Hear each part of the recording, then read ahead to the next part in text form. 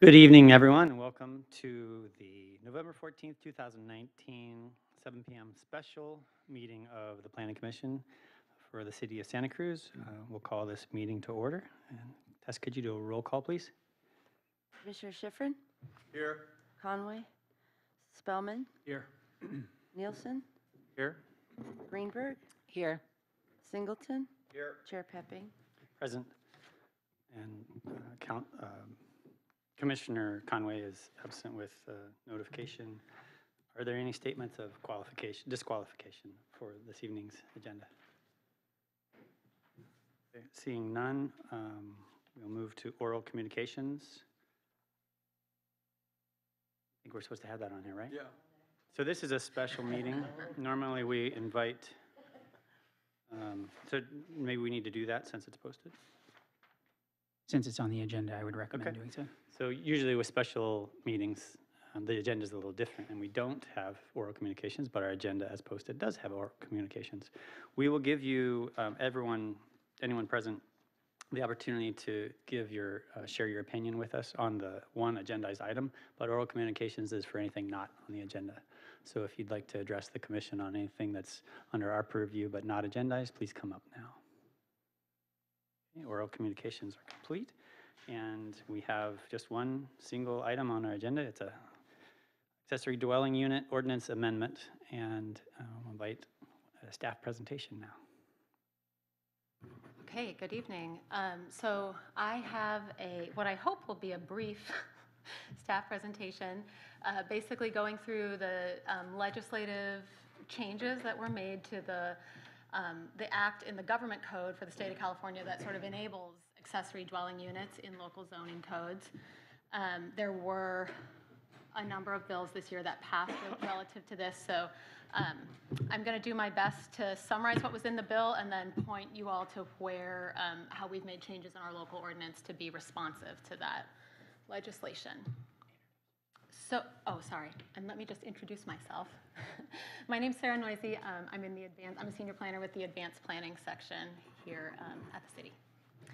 So just a little bit of background. Um, the city of Santa Cruz has been an advocate of ADUs for um, quite a while. We've had an ordinance since 1983. We actually led the state. The, the state had their first um, legislation in 85, 86.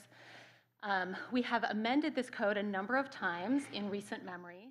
Um, in 2003, we produced and published some prototype plans and guidance documentation um, that has since unfortunately fallen out of date, but that it's just sort of a piece of history for um, Santa Cruz that we are very committed to um, promoting ADUs as a housing source here.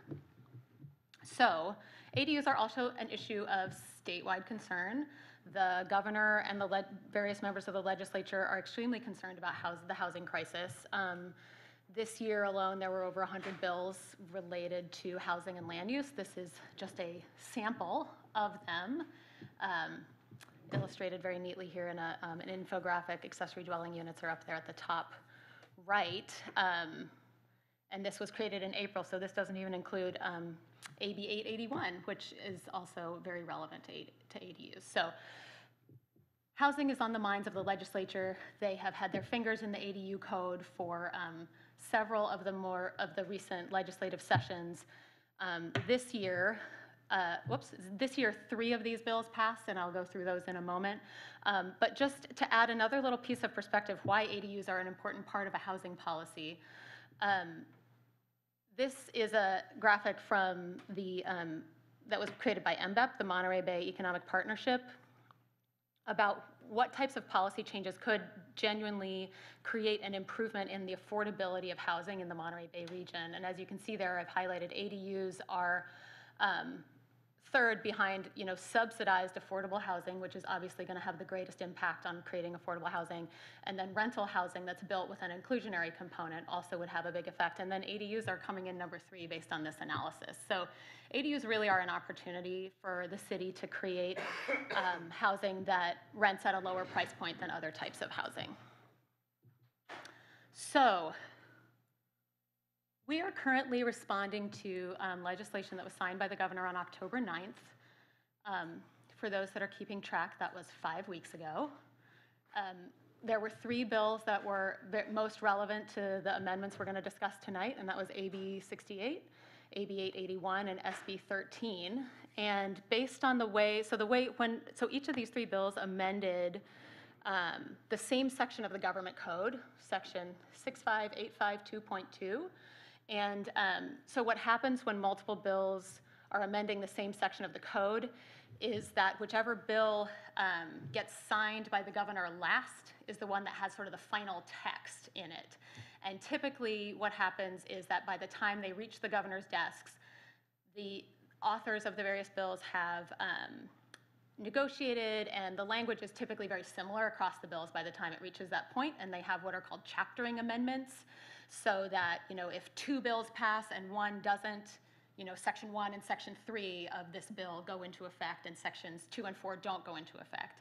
Um, And so that is the situation that we are working with here. The um, final text that I am responding to, um, based on the chaptering, is section 1.5 of AB 881. So um, if you go to read this legislation um, at home, make sure you're looking at section 1.5. Section 1 has slightly different language in some circumstances, so that's just um, a point I'd like to make. Additionally, beyond the section of the government code specifically related related to, to um, ADUs, AB 68 does contain a section that, um, about the standards for junior ADUs. So section 2 of AB 68 will become effective, and section 3 of SB 13 will become effective. And that, um, that portion of SB 13 is about how the delay in building codes will be implemented through the health and safety code. So, this pending legislation, there are essentially five categories of items that I'm going to go through. There are amendments that relate to development standards, permitting, land use policy, reduction in fees, and delay of building code enforcement. Um, s- Items four and five on this list don't require amendments to our zoning code. I am providing them here as sort of informational items. They are part of the legislation, and the city will be obligated to comply with those conditions, but we're not going to discuss them in great detail tonight because they don't require us to change our code, our zoning ordinance. So I'm going to start with number one, development standard amendments.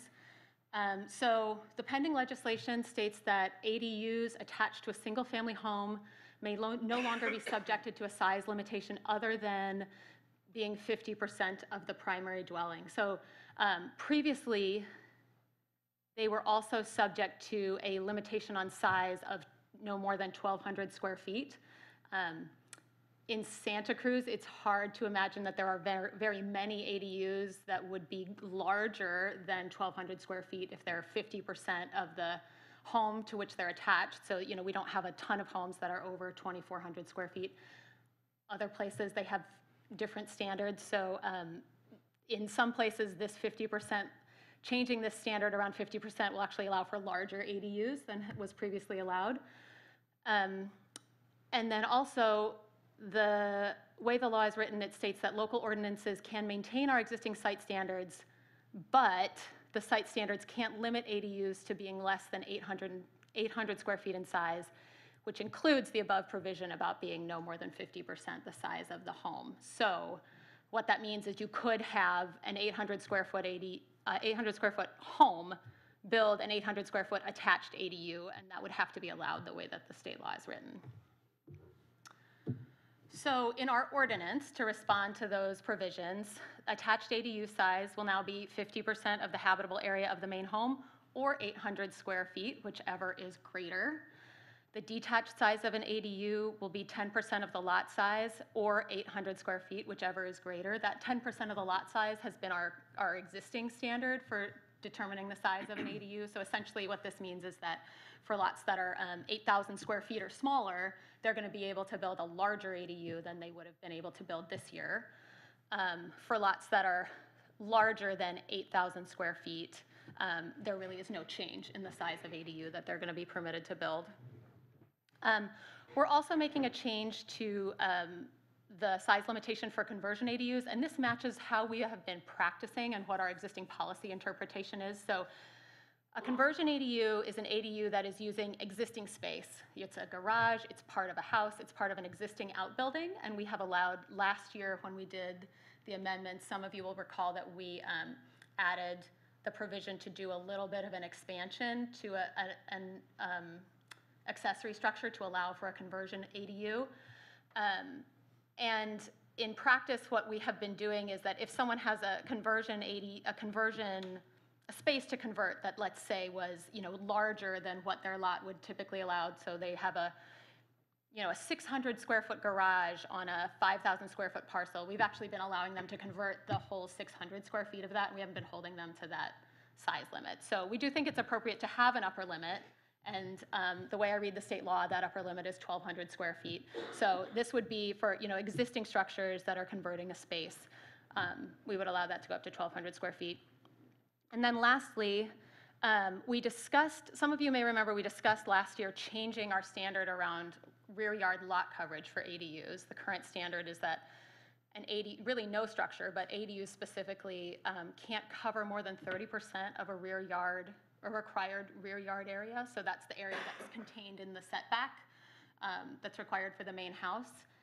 And um, based on the change in the state law that says we can't have site standards that would prohibit the construction of an 800 square foot ADU, for all intents and purposes, that would essentially nullify this um, provision for lot coverage on, you know, 90% of lots. So we're just recommending that we delete that um, requirement for ADUs. The way the language is written in the proposed ordinance, ADUs would continue to count towards that 30% maximum for the purpose of constructing other structures. So, um, you know, if an ADU is built on a parcel and it covers 80% of that rear yard area, we wouldn't be allowing any more um, accessory structures to occupy that area. Um, But that, this coverage standard wouldn't be used to limit the size of an ADU or the placement of that ADU on a parcel. Um, Additionally, in the legislation, um, there's a statement that ADUs can't be limited in height to less than 16 feet. And um, as I read it, as we read it here, there was a deletion of a, um, the, the requirement to allow an ADU above a garage.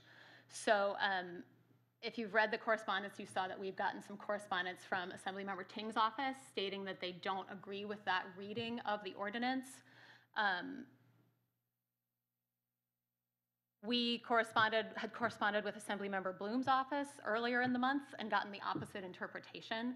So um, this is a place where we, you know, I, this is a place where we struggled a bit uh, um, as staff because the way that the law was amended at the state level, it was a little bit unclear what our, um, what our obligation was and what our purview was in terms of creating other standards for um, ADUs that are more than 16 feet tall.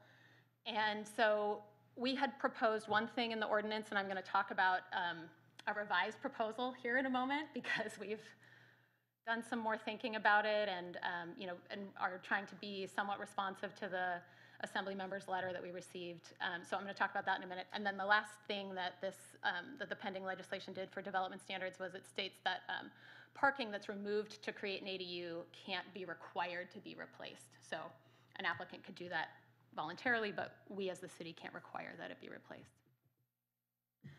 So in our ordinance, to respond to those items, uh, the height limit for detached single-story ADUs has been raised to 16 feet. Our current limit was 15 feet, so that doesn't seem like a, um, a very burdensome change. The setbacks will remain at three feet for a single story, or are as proposed in the ordinance. Um, I'm going to come back to this height for detached two-story ADUs, because that's the complicated part. Um, The height limit for attached ADUs, uh, currently, the height limit for attached ADUs, it says that they have to meet the same, they're subject to the same standards as the um, primary home to which they're attached. So that standard would stay in place, and we are recommending that we delete this, the um, standard that requires an additional setback for height that's over 15 feet. So in many of our zone districts, um, as height increases, the setback increases, especially in our multifamily zone districts. And this makes sense when you're contemplating, you know, a three-story multifamily structure that it would, you know, sort of step back away from the property lines. Um, When we're talking about an RL, you know, so a low-density multifamily site that's actually developed with a single-family home, this setback standard becomes a little burdensome when it's applied to just an ADU. So we're recommending that we delete that standard um, for all the zone districts in which it occurs. Uh, And then lastly, and then parking, we're just essentially reiterating what the state law says, that um, any parking that's removed to accommodate an ADU need not be replaced. So, two-story ADUs, detached. Currently, um, our zoning ordinance, based on the laws that were in effect, are still in effect today and in effect until January 1, um, has standards for two-story ADUs when they face an alley. They can be 22 feet tall, and um, they can have setbacks of, do they have to meet the 10-foot setback when they face an alley? I'll have to look it up. I don't have a committed memory. Anyway, um, so we have one standard for ADUs when they face an alley and a different standard when they don't face an alley. And then based on the way the state law was written this year, we had yet a third standard for ADUs that were built above a garage. So the state law, as it is today, states that when an ADU is built above a garage, a local jurisdiction can't require more setback from the side and rear property lines than five feet and five feet, side and rear. Um, and that we have to allow an ADU to be built above a garage. Previous to that being in there, when, when uh, a two-story ADU was proposed on an interior lot, we were requiring a 10-foot setback from the rear property line and a five-foot setback from the side property line. The five-foot setback on the side is the same as is typical for most single-family dwellings in most single-family zone districts. Um, The 10-foot from the rear was a reduction by half over what the typical setback for, the- so the setback in an R15 is 20 feet, and so we reduced it to 10 feet for, um, for an ADU. The height for an ADU was also reduced relative to what was allowed for a single-family home. So a single-family home could be up to 30 feet tall, and a two-story ADU could only be 22 feet tall. So what we had proposed in the ordinance, um, which I still think is not a bad idea, but it- we're changing our recommendation. What we had proposed in the ordinance was that um, two-story ADUs, unless they were facing an alley, would have to meet the same setbacks and would get to meet the same height limitations, essentially, as the primary structure on the property, either the single-family home or now, uh, under the state law changes, the- a multifamily structure. Um, In response to sort of the, um, the legislative intent that underpins Assemblymember Ting's letter, essentially that, you know, we want to be accommodating and facilitating to all types of ADUs. Um, We are now recommending that we make a change to the way we handle two-story ADUs and say that when they face an alley, they may be 22 foot, 22 feet tall with five feet side and rear setbacks. When they're on an interior lot, they may be 16 feet tall with four-foot side and rear setbacks, which is what is required by the state law. Um, And according to someone in our building department, you could conceivably fit a two-story structure in 16 feet. No one has ever seen it. Um, So, you know, uh, but this would, we believe, I mean, maybe someone would want to do that. There could be a lot that's on a hillside where this, you know, kind of setup makes sense and, you know, is the right way to go. Um, But then we are going to, we are recommending that we, that we also have a standard for ADUs that are over 16 feet tall, that they do require an additional setback. And we're recommending the standards of five feet on the side and 10 feet on the rear, which is essentially what we have today for a two-story ADU. So, um, Just one clarification, sorry to interrupt. I thought I heard you say on the first point, 22 and 5, the slide says 22 and 4. Is that, did you misspeak, or was that so, the um, amendment so that this you're was, offering? so facing an alley, we're saying 22 and 4. Okay, And um, not facing an alley, we're saying 22, 5 on the side and 10 on the Okay. rear. thanks. Slide's accurate, okay. The slide is accurate, yeah. I don't have, unfortunately, I did not have time to draft like replacement code language for you, but um, I, I- if if you include this in your recommendation, this is part, now part of our staff recommendation, so if you include that in your recommendation to the council, I'll have the language drafted by the time we go to council. Thanks. So um, that's our long, um, dramatic story about two-story ADUs and the height and setback limits that we are now proposing. Uh, So, and I'll just comment here. I mean, one of the reasons that we want to be, um, that we're inclined to be a little bit, uh, require more setback with a two-story structure. Um, So, so where, from where I sit in advanced planning, I rarely get phone calls about building projects, construction projects, building permits, like they rarely end up on my desk. Um, The calls I have gotten this year have been about two-story ADUs above garages where they're five feet from a rear property line.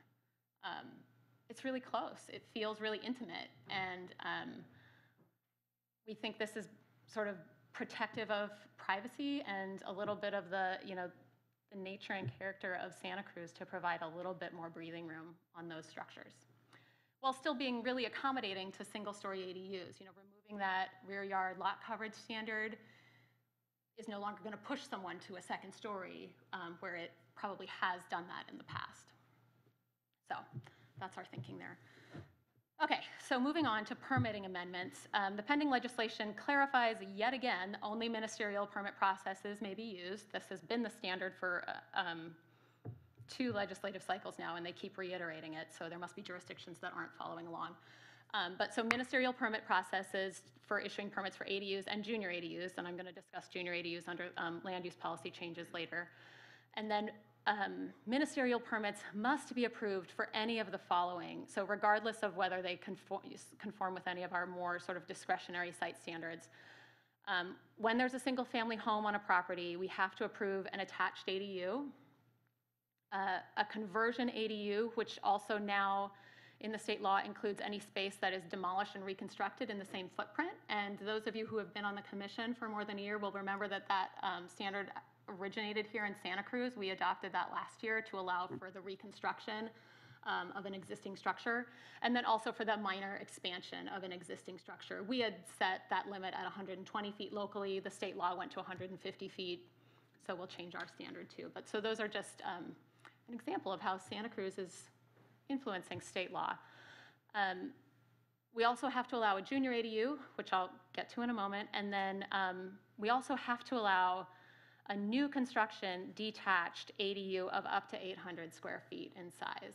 So um, these changes resulted in a number of amendments to um, sections of our code about permitting that we haven't previously had to amend relative to ADUs. So we added a- an explicit statement regarding ministerial processes and um, the 60-day review timeline that's also included in the um, state law. And I am also adding, um, we're going to, we're recommending that we make a minor amendment to um, section,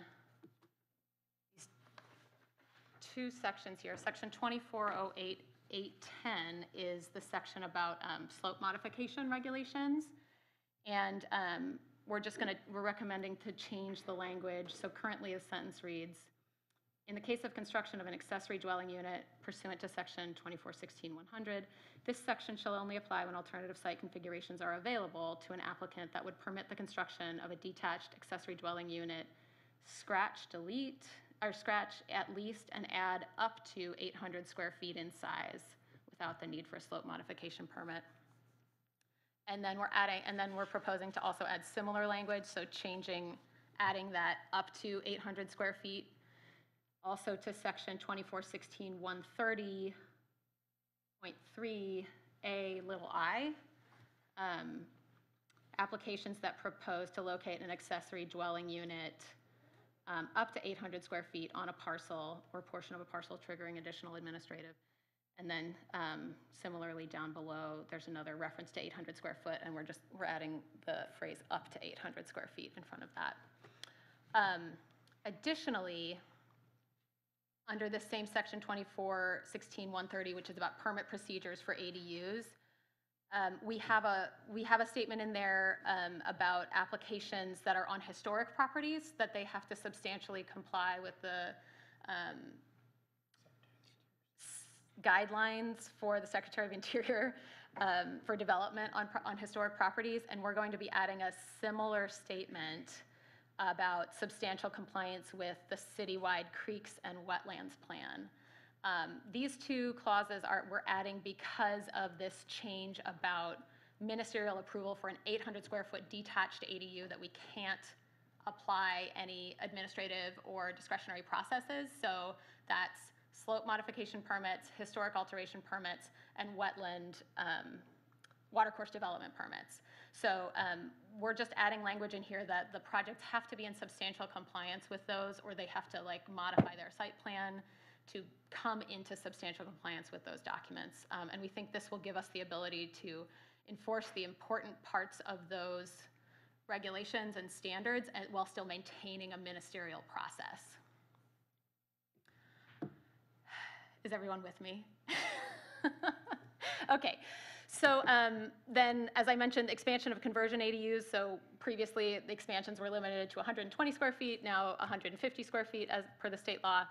Um, And then for attached ADUs, I mentioned the additional setback required for height over 15 feet. We're recommending that that be deleted for all of the um, zone districts where it applies. Okay. More on permitting amendments. So in addition to those things that we just discussed that must be permitted with a single-family dwelling, we also are now obligated to um, approve ministerial permits with, a- with existing multifamily structures. So this is a new change, allowing ADUs on a parcel with um, a multifamily structure, and in fact, within a multifamily structure. And you might be asking yourself, what is an ADU even when it's inside an existing multifamily structure? The answer is we don't know yet. We'll see what happens, right? It's, it's, it's an extra bonus unit that doesn't count towards density, and there are some limits on how many can be added to a parcel, up to two detached new construction ADUs, and at least, at least one and up to 25% of the total existing units created by converting um, areas in the existing structure. So um, this would allow a duplex to add one converted ADU and up to two detached ADUs on the same parcel where there's currently a duplex. It would allow a, you know, a 40-unit apartment complex to convert up to 10 units inside the structure um, and add an additional two detached units on the, on the parcel. So um, in order to address those, we've changed um, the zone districts where ADUs are now allowed. We've actually just given up on trying to list them because they are just allowed everywhere that we allow residential uses. And um, we allow residential uses in most of our commercial zone districts as mixed-use projects. And so now those projects are also eligible for ADUs. So we're now just say that um, ADUs are allowed where other residential uses are allowed in conjunction with a residential use. Um, And then, again, we reiterate the um, conversion ADUs and two detached ADUs on par, on parcels with um, existing multifamily structures. Okay, land use policy amendments. So as I mentioned, allowing ADUs on multifamily and mixed-use property. This is going to be a change. I, you know, we're, we'll see how many of these we get that come in. um, And I, I think there are going to be, this is a place where we may um, as we, as we move into next year and start seeing some applications, we may roll into our, um, you know, more proactive ADU process next year, some more site standards around ADUs, multifamily ADUs, and, and how those are, um, we allow those to be created. Um, For now, we're just implementing the state law. You know, we have a tight deadline to meet, and we don't have time to do all of the good thinking that we typically like to do when we make policy changes like this. Um, We simply don't have the luxury of that right now. Um, We also, uh, the state legislation creates junior ADUs um, and requires jurisdictions to create junior ADUs. So junior ADUs were, are a creature created under state law a few years back um, as an option. Locally, we kept thinking, we can do better than that, and we're going to do something better than that, and we never had time to do anything better than that. So now we'll do what the state is requiring us to do. Um, The good news is they have made some changes to um, the the junior ADU legislation that were um, sort of some of the reasons we were hesitating to just adopt the state law. So um, it no longer has to be an existing bedroom. It can be um, an addition to a home. It can be, um, it can exist essentially on a spectrum from a fully independent, attached studio apartment, no more than 500 square feet in size, at the more complicated end, down to, you know, its original intent, which was a bedroom, an existing bedroom in a home that has an exterior entrance and has a little kitchenette. May or may not have its own bathroom, but um, it could provide an additional rentable space and a little bit of independence in a situation where you actually have grandma living with you or you have roommates, so it could provide a little bit more privacy. So um, standards for junior ADUs can be no more than 500 square feet, has to be attached to a single-family home, um, contains at least an efficiency kitchen, which has counter space cabinets and appliances, and it no longer limits those appliances um, to, you know, 110 electrical. It may have its own sanitation facilities or share with the main home. And the irony here is that for junior ADUs, this is again one of these things that happens with the chaptering and having multiple amendments. Junior ADUs, um, we have to require owner occupancy right now. The way the state law is written, we don't have any um, leeway on that. And you may notice that the final bullet point here on my slide is that we are prohibited from requiring owner occupancy for ADUs for the next five years. So um, there may be situations where this is a little bit awkward for folks. Um, so, you know, this is the, the, how things happen, uh, when state laws all amend the same sections of code, and, um, you know, will, I have had a few conversations with, um, Assemblymember Ting's office, who wrote AB sixty-eight, which contains these junior ADU, um, standards, and they've mentioned that they're going to be trying for a cleanup ordinance this next legislative session, so hopefully some of these standards will be coming more into alignment. I'm not sure exactly what that will look like, but it's on their radar, they're, they're thinking about it. And then finally, so we're, um, junior ADUs now, we have to allow them. Junior ADUs can be on the same parcel with an ADU, so now a single-family home could have a detached ADU and an, and an attached junior ADU. Um, and then, like I mentioned earlier, we can no longer require owner occupancy for ADUs um, that are permitted between the first of 2020 and the first of 2025. So locally, um, we've added junior ADUs to our code, um, up to 500 square feet, attached or internal to this um, single-family home, include a minimum kitchenette, and then, as I mentioned, there are a spectrum of options that would qualify for that, um, as that kind of a creature of junior, a junior ADU. Um, One junior ADU and one ADU per parcel with a single-family dwelling, and then um, owner occupancy for permits issued between 1 1120 and 112025. Um, No owner occupancy will be required. That provision is not retroactive, so existing ADU owners are still bound by their um, current land use agreements. Um, That is one of those topics that I think we're going to be taking up when we do some more proactive work on ADUs this next year. Um, It's something that the city council has kind of given us some direction to pursue, and the way the legislation was looking early in the session, it looked like they were going to take owner occupancy off the table as an option, so we didn't sort of, we didn't engage that process with the community at the time, but it seems, given this discrepancy that's now been created between new ADU owners and existing ADU owners, that topic seems really ripe for community conversation. So, um, it'll be on our list in the springtime. Um, so other, other things that are addressed in the pending legislation, these don't require amendments to our code. Um, they're, uh, SB 13 and as a result, AB 881, um, reduced fees. So ADUs that are smaller than 750 square feet can't be charged any impact fees. So those are fees for schools, parks, and our water department. A, a portion of that um, development fee from the water department is an impact fee, and we're working with them to kind of pull their existing fee structure apart a little bit so that we can comply with this. And then ADUs over 750 square feet have to be charged impact fees in proportion to the fees tri- charged on the primary dwelling, determined based on a ratio of square footage. So um, again, water, uh, water and sewer are the ones where that's going to be the most complicated, and we're working with those departments to um, figure out how to structure those fees.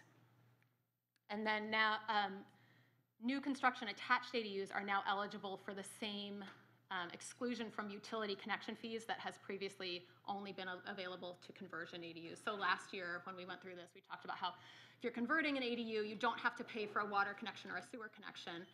Um, That allowance or exclusion from utility fees has now been extended also to new construction attached ADUs. And then finally, the bills also contain um, language that would allow an applicant to request the delay of enforcement of a building code provision um, for a period of up to five years. And so between, for the next 10 years, they can request a delay of up to five years to bring their unit into compliance under certain circumstances. So, you're all so riveted. Okay, so our next steps here are, um, we have our city council hearing is scheduled for December 10th. Um, th- This ordinance contains language that states um, that if, if we don't have a compliant ordinance in effect on January 1st, our ordinance is null and void, and we're trying to avoid that. So hence the rush and the special meeting to make sure we could get your recommendation to the city council at their final meeting of the year, so they can have the, at least the opportunity to adopt an urgency ordinance that would put something into effect. So we're going to that hearing on December 10th. Um, And then after we get through this process, um, after the first of the year, we will be doing community outreach to cover the changes that have take, taken place and bring everyone up to speed who's been interested in following ADUs and interested in building one in the next few years um, to talk about what their options are now. Um, and then we are also anticipating that there will be um, some circumstances that with the haste with which we were required to write this ordinance were not contemplated. So, um, you know, maybe there are places where you have, where we have multiple single-family dwellings on one parcel. You know, what are the standards that apply to that for ADUs? You know, we, there are some specific circumstances that we're gonna need to take some time and work through and discuss with the community. Also, um, as part of that process, um, I, I, it will be time for us to have this conversation about requiring owner occupancy and perhaps um, considering re- creating some relief of that requirement for existing ADU owners. Um, Your commission recommended that last year. The city council did not approve that at the time to relieve um, existing owners of owner occupancy, but did give staff direction to go forward and discuss it with the community. As I mentioned, based on what was happening with the legislation, we didn't engage with that process this year. The change that has happened cre- has created this gross inequity between the two groups of ADU owners, so we are going to start that conversation with the community. Um, And of course, you know, the legislature is back in session on January 7th, so we'll see what else they have for us next year.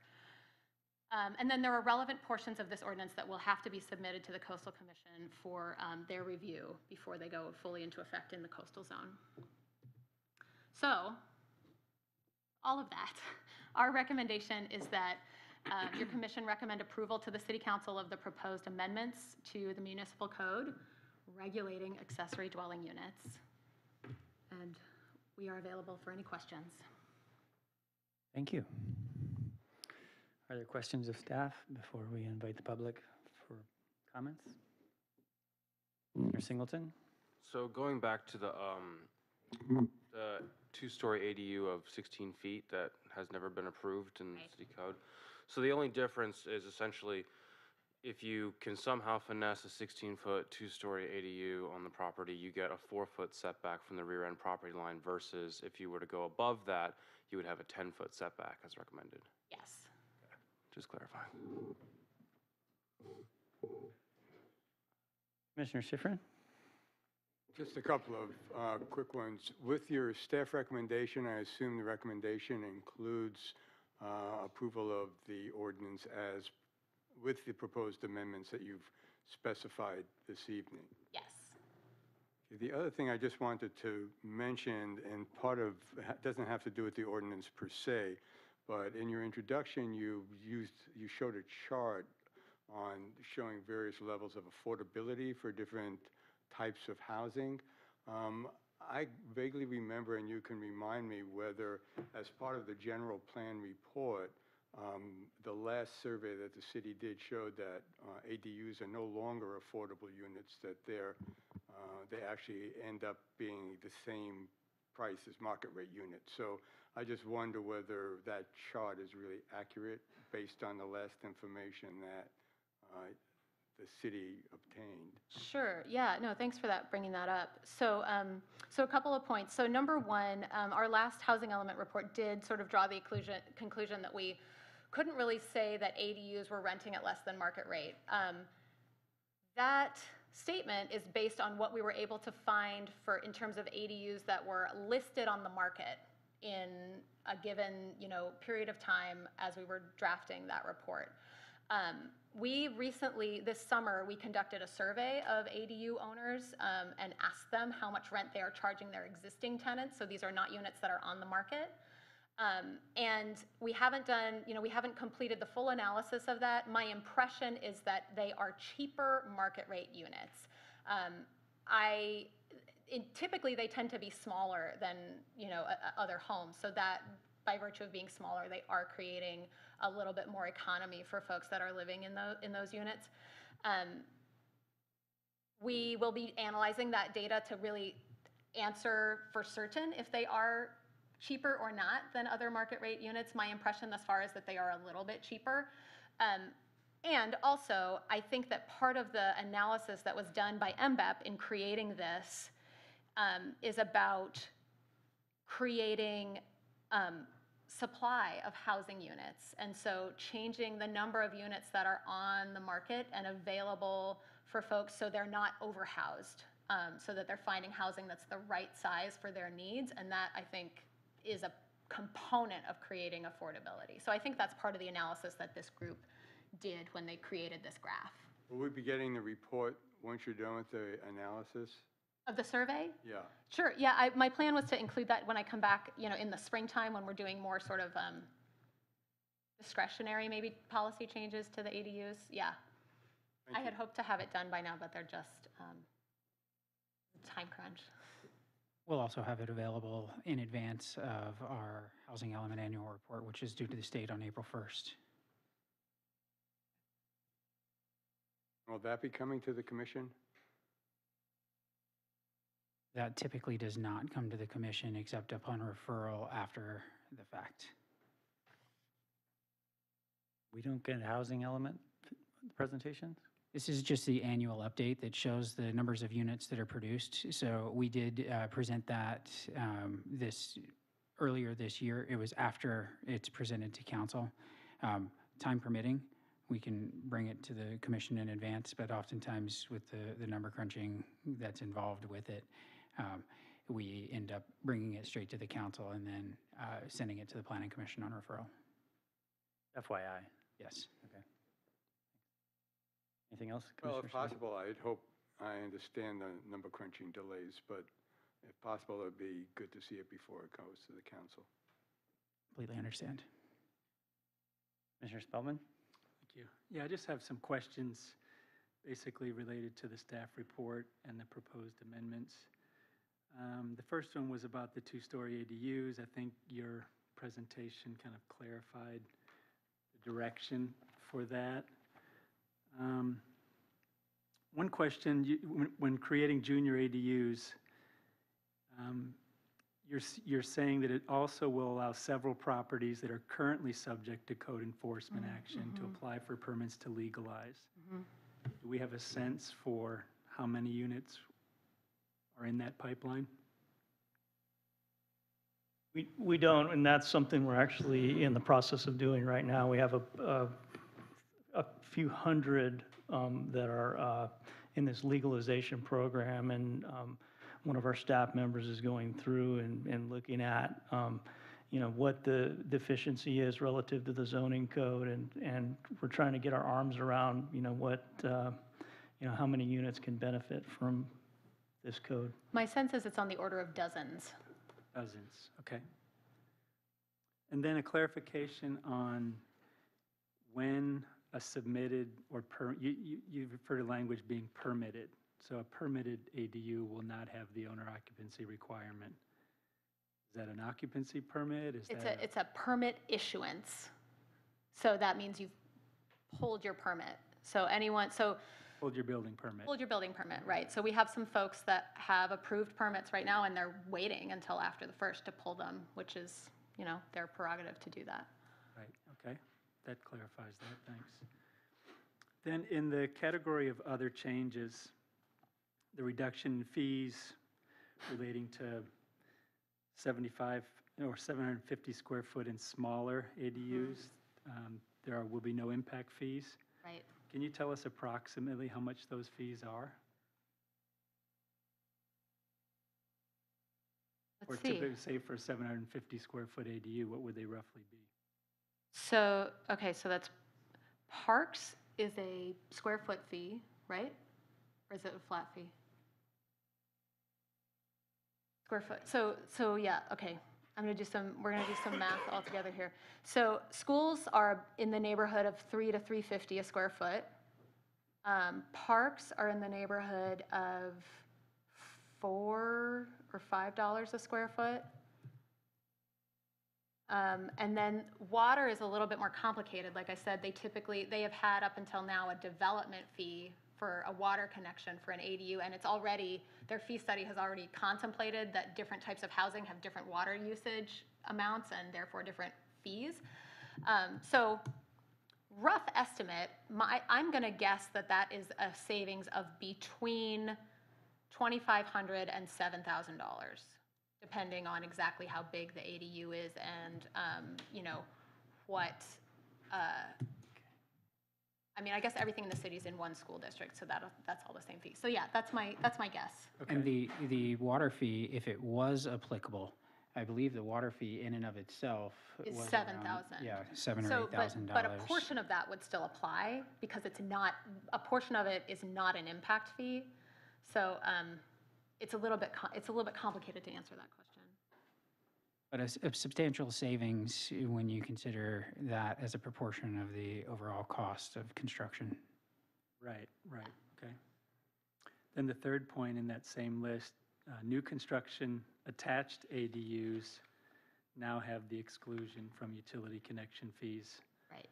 I'm just curious about, so basically the only one that is impacted by those fees are detached ADUs. Yes. I'm wondering why we wouldn't potentially want to include those in that same category. I mean, especially if you can show that you're connecting to existing utilities. Um, That's certainly a policy, you know, that could be pursued. I would want to, um, I would want the water department to weigh in on that, because I, I mean, there, there's already sort of some um, angst from that department about how they're going to be covering their costs, you know, this exempting units from fees is great for development, and yes, we need housing, we want to do that, and we also want to make sure that we are, um, you know, providing a good level of service for all of our folks. So I, yeah, I mean, potentially, yes, you'd, you'd want to hear from the water department about what those fees do and how their fee structure might be adjusted. Yeah, just from experience, I know many ADUs that go in, they use existing infrastructure. There's no upgrade to infrastructure Sure. other than paying that fee f- for no work, essentially, in many circumstances. Um, Commissioner Spellman, um, Commissioner Schifrin wanted to chime in, is that sure? Yeah. Yeah, from my time on the Water Commission, I think the, you know, as a water service provider, under, maybe it's Prop 218, but the ch- water commi- uh, department has to charge users for the amount they use. They can't subsidize users. So I think that's a complication if you're adding more users, users, because there have been attempts to exempt uh, ADUs in the past from these fees, and it ran into this problem of um, the requirement, the legal requirement that the fees be related to use um, in Prop 218. So I think that may be a complication that needs to be worked out with. Of course, on the other hand, if the state law says you Right. have to do it, then you have to do it. But to the extent that the state law doesn't say that, it may be difficult to justify it under the So proposition. Sarah, you've gone deep on this. Did the legislature, did you hear any discussion of how to reconcile those things, or? Well, I mean, I think that, um, I think, the- I think these things come from, um, you know, different moments in time, different legislators, you know, different sets of priorities. Um, You know, we, at, at a certain point, you know, exempting, promoting a type of housing, exempting it from all fees is going to sort of nullify the validity of any existing fee study that, that counted on getting fees for all types of housing development. So at a certain point, not just Santa Cruz, but all jurisdictions are going to be in a place of, you know, potentially having to completely redo a fee study. Um, and then the, you know, the question becomes, are we transferring the obligation for those, um, that money to other users? right? Are we going to have to increase our fees for multifamily housing because we're not charging them on ADUs and we are expecting now an increased number of them? So, I mean, this is, this is a valid policy question. It's a complicated issue. Um, You know, I, I think that's, um, you know, something you could provide some comment on. I don't know that it's, I mean, it's not part of our ordinance. That's really, you know, fees are sort of handled separately and by a different department. Lee, do you have any thoughts on that?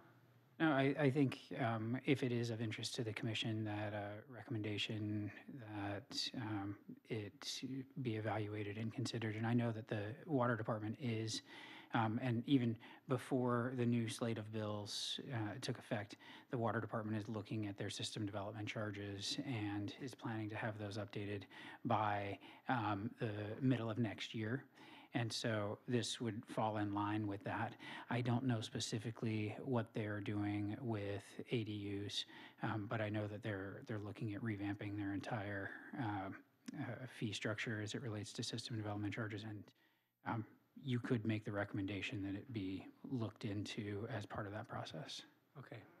Yeah, I mean, my perspective on this was merely from one of, it sounds like we're penalizing detached ADUs. Everybody else is getting a pass on it except for the detached ADU. That's, I mean, there's obviously reasons why those fees are in place, but that just seems to be the way this is written or, or could be read. Yeah, it's certainly encouraging a specific style of development. Mm. Okay, so then the, the second point, this delay of building code enforcement, I'm not sure I understand clearly what that allows somebody to do. Where, is there an example of where or how this would apply? Um, Well, yeah, I mean, I can, I can, um, I can tell you what it says here. So um, in the government code, they are adding a section to say, um, in enforcing building standards, et cetera, et cetera, of the health and safety code for an ADU described below, a local agency, upon request of an owner, for a delay in enforcement shall delay enforcement of a building standard subject to compliance with um, this new code section added to the health and safety code. So the circumstances in which um, an owner could request the delay of enforcement are that the ADU was built before January 1, 2020, so any existing ADU, or the ADU was built after January 1, 2020, in a jurisdiction that at the time did, had a non-compliant ADU ordinance. So essentially, um, the effect of this is that um, ADUs that exist, this is, I think, the intention here is to assist ADUs in legalizing. So existing ADUs that exist, that are, you know, built without benefit of permits, um, I think would be most typically the ones that would request this delay of enforcement. And then um, to the health and safety code, um, SB 13 added um, some responsibilities of, of the building department. So with every, um, every time there's an enforcement action taken against a unit like this that qualifies, part of the notice that we provide them has to inform them that they are entitled to um, a delay of up to five years of any provision. Um, And then they have, um, let's see here, what does this say? And then they have up to five years to bring their unit into conformance with the standard that was trying to be enforced. So it essentially allows some space for ADUs that are legalizing to kind of spread their costs out. That's how I'm reading this and understanding it. Um, So we're working with our, you know, building department about how they're gonna, you know, adjust their process and their practice about um, handling these cases. This is really relevant for ADUs that are in our legalization program.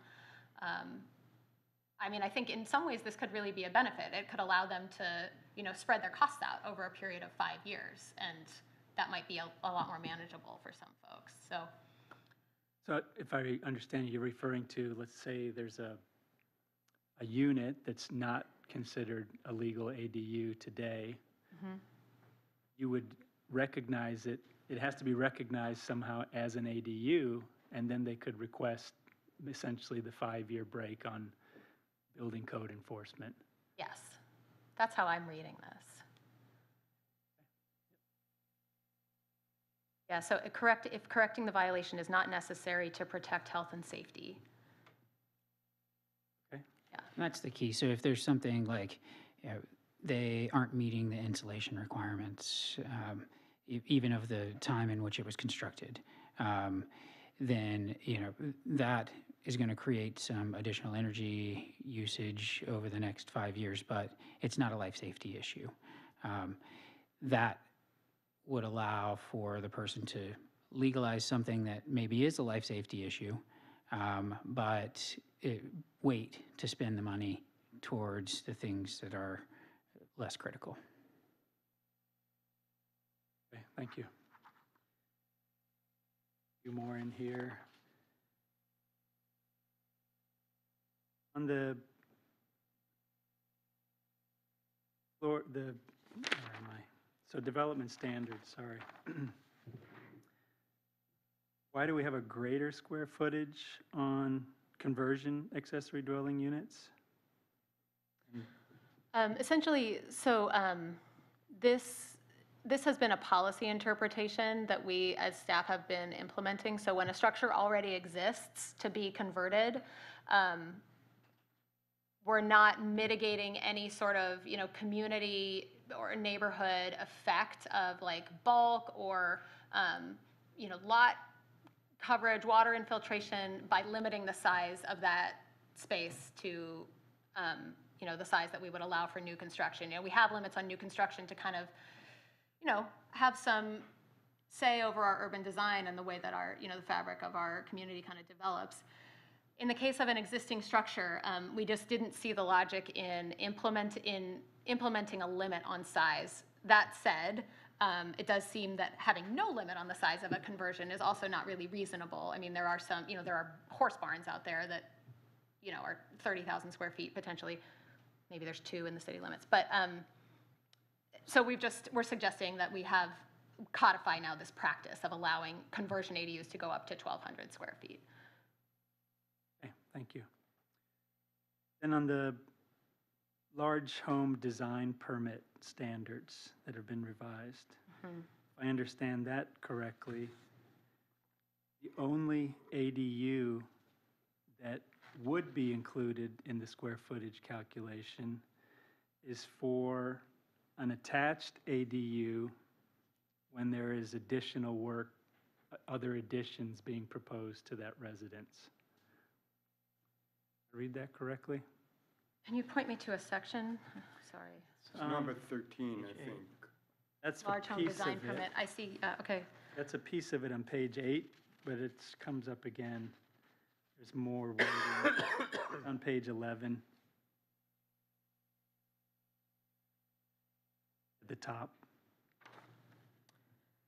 A conversion ADU is not included, a detached ADU is not included, and attached ADUs that are essentially submitted as a project in and of themselves Right, without are not included. substantial work to the home are also not included, Shows a new Addition to the, which only leaves attached ADUs with other work happening to the house, essentially. It just, that doesn't seem, yes, no, that's a good catch. I think um, what this should say, so the, the portion of the state law that we are being responsive to with these um, standards is uh, that we, we can delay action on an ADU permit that's submitted in conjunction with a permit action on the, on the home or on the other main structure on the site. And we also are not allowed to have any, we're not allowed to apply any standards but ministerial standards to the ADU portion of the project. We can delay action on the ADU permit until we've completed our action on the main structure, but we have to um, only use ministerial processes on the ADU. So I actually think this needs to be amended. Thank you. Um, I think this needs to say, um, I'm not sure what this needs to say, but I this think it needs to either be should say amended. no ADUs, right, count, because the only one that is counting is the attached Yeah, I other think, work. I think, wh- I think it's worth making clear here that um, a, a large home design permit could be triggered in a Mm. context of an ADU project, um, but not by the ADU. So um, let's make that part of our recommendation that we Happen to correct know what our this. current code says, About, what's included and what's not. This is, This- this is the current code. Number six is the, that's the current code. number six is in, is So, in the current code, yeah. yeah, so we'll need to update that. And I think, I think Sarah's correct that the first portion of this, it will need to update to say that, um, eh, that we're not counting the square footage um, towards the trigger of whether a large home design permit is required. So right now, the way it's, it's worded, that would count for attached, if there's an addition to the house. Yeah, no, and that's, it And can't so be we that can, way. so, Yeah. so uh, Sarah, correct me if I'm wrong, but uh, it, I think we need to have that say that um, whether there is an addition to the house or not, the only portion that counts towards a large home design permit is the addition to the house itself and not any addition to the ADU, Yeah, Okay, that's what it needs to say. Not the new ADU square footage. not the new not the ADU square of the footage. ADU. So we need to, um, we need to amend that section. Yes. Thank you.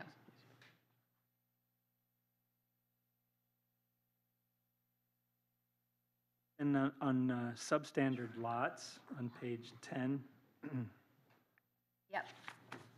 so I can see this playing out. So what happens if the rules that are in place for substandard lots prohibit the 800 square foot ADU?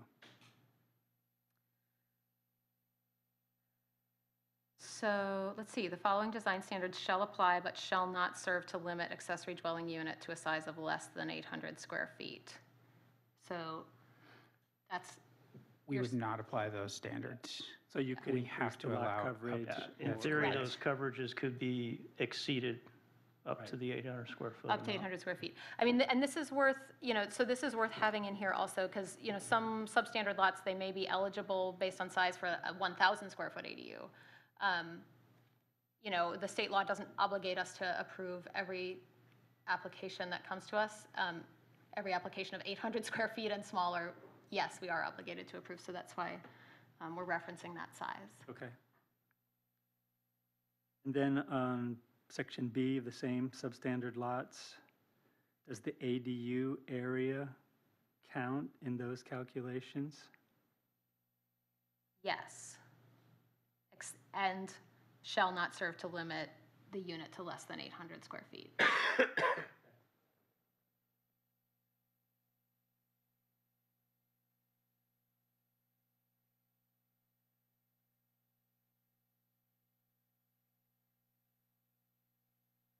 Page 12, number six, this talks about parking permits now for ADUs.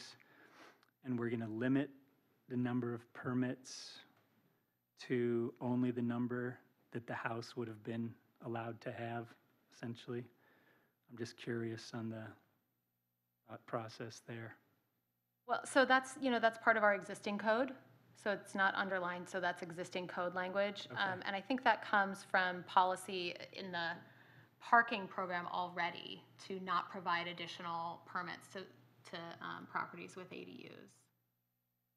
Okay, so I guess it highlights a, a potential conflict moving forward if we're going to allow two ADUs on a parcel Sure. in addition to a home and, Right, and yes. potentially eliminate parking. So, the- and parking, and so, yeah, and so ADUs are already um, locally, not, no ADU is required to provide any parking.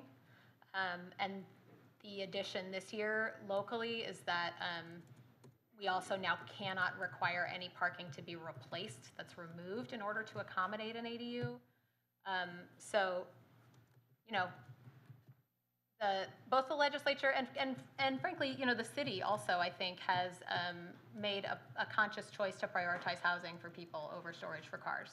And um, there are moments and neighborhoods where that is going to be less comfortable than other moments in other neighborhoods. And that's, you know, that's just true. Okay, on that point, I would say that um, under the next section, two, covered parking, same page, right? Now we're restricting plumbing fixtures and, and the potential to convert spaces for parking by specifically saying you can't have those things. Essentially in fear that people would do it and not permit it. I'm guessing. Uh, I'm sorry, you're looking at, So the current code, right, Um, My point would be, don't we want to allow these spaces to easily be converted in the future as opposed to not be easily converted? If we don't allow for the potential for future plumbing or things like that? Um, So yes, we do want to allow spaces to be converted. Our code is focused on ensuring that that happens with permits. Um, So I think that's where that language is really coming from. It's just making sure that when, where that, where conversions happen, it's done with a building permit. I'm not, I'm not saying it's not, but I think we're going out of our way to say you can't do a lot of things, which, which would make it more difficult to convert later, especially if you're on a slab foundation. Yeah, that's true. I mean, you can do it with, I mean, you, you just, you need a ZA permit and a land use agreement that says it's not a unit until you get a permit to make it a unit. So, I mean, we don't prohibit it outright, but you're right, I mean, we do make it more complicated for folks. That's, that's all I had, thanks. Commissioner Greenberg and then Commissioner Nielsen. Yeah, thank you. Um, I was wondering about a couple of things. One is um, the discussion in the document um, on ADU ordinance amendments um, that gave a little background on the deed restrictions um, associated with affordability, um, where, and this is on page seven. When the city council reviewed the last round of ADU amendments, and this is associated with the owner occupation Okay, um, waiving of that. When the city council reviewed the last round of ADU amendments in January and February of this year, staff was directed to conduct a community outreach process to discuss the option of removing owner occupancy requirements from ADUs in exchange for a deed restriction that would limit the rent collected on one of the two units on a property, thereby creating a housing unit for a moderate or low-income qualified renter to pay an affordable rent.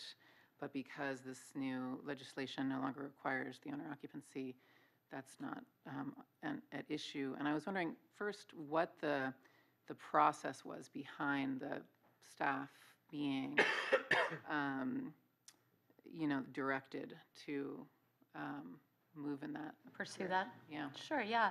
So last year, um, last year around this same time, I was here before the planning commission and we were going through a set of amendments to the ADU code that were a combination of updates that were required by the state law at the time, in addition to a number of proposals that had come um, out of the housing blueprint process, which had been conducted earlier in 2017, and um, and out of community outreach specifically around ADUs. And so there was a whole suite of amendments that we brought forward to the commission and then to the council.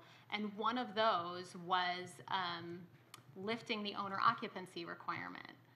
Um, This is something that existing owners of ADUs are, some, I mean, not all, but, you know, they are, the strongest voices in the room to remove the owner occupancy requirement are folks that own ADUs already and are limited by that standard. Um, We, we do have a program for um, ADUs that are legalizing, and it, so for ADUs that are, currently exist without permits and would be able to get permits for everything except for the fact that it's not an owner-occupied property, we have had in place for a few years a program that would allow that unit to get legalized, to get a building permit, and would allow the owner to continue to live elsewhere and rent both units on the condition that one of those units was rented to an income-qualified household at an affordable rent. It allowed them to accept Section 8 vouchers, which are essentially a market rate rent. So this was a really good deal, and we were only providing this deal to people who were, had built without permits or violated an existing land use agreement. So um, rightly, people who are playing by the rules said, we want that same deal that you're giving people who didn't play by the rules. So that was sort of the beginning of it. And then at the beginning of the year this year, it looked like we were going to lose that standard entirely. And we thought, you know, why engage in what is bound to be a pretty contentious process, one way or the other, come up with a set of standards and then just have them, you know, sort of yanked out of our hands by the state saying you can't apply any owner occupancy requirement. It just seemed like a lot of wasted effort. So we didn't engage with that this year. Um, They had, you know, whether or not it's still, it would make sense to apply affordability to those existing homeowners now, if we, you know, went forward to like recommend that we remove owner occupancy in exchange for affordability on existing ADUs, you know, I think it's a little bit of a different conversation now, given the direction that the state has gone with these ADU regulations and removing owner occupancy for new units. You know, it's sort of, um, folks that are coming in to legalize now, they just kind of get everything. They don't have to live on the property. They can, you know, completely legalize it, and they'll never have to have a land use agreement that requires owner occupancy. Um, it's, I, I think some existing property owners are probably rightly upset about that. Um, so, you know, that's, kind of some of the background. This is, you know, at the time, a year ago, it seemed like this might be a way to create some affordability, you know, and open up the, like, create some potential for more ADUs to be created by allowing a little bit of investor development on condition of affordability. Um, so it was something we were going to engage with in the community, and, um, you know, we'll take it up again this year. So, um, and I'm just thinking about the earlier question about how affordable existing ADUs are, and we'll see the results of the survey and so forth. But I don't know if this is an ongoing conversation, given this shift, both about like what it might do to existing affordability now that this change is in place um, for both existing ADUs and, you know, non- and the- the non-compliant, previously non-compliant ones. Um, but also potential other incentives. And I know that in the other, um, in the document, uh, the ordinance, you have, um, you know, fee waivers, for instance, and other types of incentives. And I don't know if that, if this is an ongoing conversation. about, you know, um, ways to en- en- encourage affordability, Incentivize incentivize affordability, affordability. Yeah, and there, you know, there is, um, I think there's a lot of content there potentially. Um, I, I do think, you know, it's, it is challenging also, you know, um, the, the issue with ADUs, one of the issues relative to affordability is that um, there's really no economy of scale. You know, you're building one unit, you know, so your construction costs are just what they are, you know, a 300 plus dollars a square foot. You know, I don't know exactly what they are today. I know they keep going up. Um, and, you know, there's no real way to economize in, in terms of, you know, building more than one unit at a time. And potentially there is that a little bit now with these junior ADUs and with a lower level of amenities, those might be providing some lower cost housing. Um, you know, I, I think there's a lot of meat there, yes. There's also um, a, a state bill, one of the bills that passed this year, um, requires jurisdictions to come up with ideas for creating affordability in their housing elements. So um, luckily for Santa Cruz, um, our region is after the San Francisco Bay region, so we'll get to um, Learn cheat from off them, their homework. yeah. Yes, learn from them, that's what we should say. Um, and About, you know, what those, what those tools might be, you know, short of a loan program, which, you know, a loan program really could Yeah. facilitate that. And so where would that funding come from and what are the options? HCD is also supposed to be compiling a list for us of funding sources potentially for ADU development. So I'm optimistic that there might be some options out there. Um, I don't have them right now. I, it's a challenge, you know, we want these to be affordable. And I think some of them genuinely are. Um, Yeah. But not all of them and not always, and th- there are a lot of factors. so. Right, for sure, yeah. Um, And uh, along those lines, yeah, I was, I had a question about loan programs, and it would be interesting to research that, but also, um, when you previously had the model ADU designs, Mhm. um, I would imagine that some of the costs, um, and I know it's important for architects to have jobs designing ADUs, but at the same time, it can be good to have existing templates um, for folks. And I don't know if you're thinking of updating or employing some, you know, Sure. local architects to update uh, those designs. So that was something, you know, sort of the guidance documentation of all kinds, like, you know, stock plans and like how to do a garage conversion guidance and, Yeah. you know, f- what, if- how to finance a construction project. That was, um, that is stuff that we would like to get into and engage with. Um, You know, it's a matter of like, I hate to say this all the time, but like staff capacity. Yes, Um, Is- yeah. and also, I will say, you know, the stock plans, it- 29, the stock plans are in a really different place in 2019, 2020 than they were in 2003, 2004. So I, you know, and prefab construction is also in a really different place than things were at that time. Um, You know, we had some challenges with maintaining our own stock plans that, um, you know, I, I think there probably are ways to address those. We did, you know, they just, they didn't develop as many units as we had hoped. Um, They were great for publicity. They got a lot of people thinking about what an ADU might be like on their property. And then there were a lot of people who said, I want this, but I want the mirror version because my site is oriented, you know, this way instead of that way, or I want this, but let's add another bathroom. And then you just, you kind of, you just lose all that, Yeah. you know, economy that you had there. So that said, Yeah. Santa Rosa, who is rebuilding like crazy, um, has pursued that model of having some pre-approved plans. And so I'll be interested to see what their experience has been with that, because our experience, you know, 15 years ago was that, you know, great marketing tool, but like, mm-hmm. not that many units actually got created. So Interesting. Mm-hmm. I just, you know, who knows exactly why that was. Mm-hmm. Okay. mr Nielsen? Uh, First, I'd like to thank you for going through all this and in such a short amount of time that you've, you haven't been given a lot of time to get through it all, and I appreciate you really digging into it and doing it, so thank you for that. Um,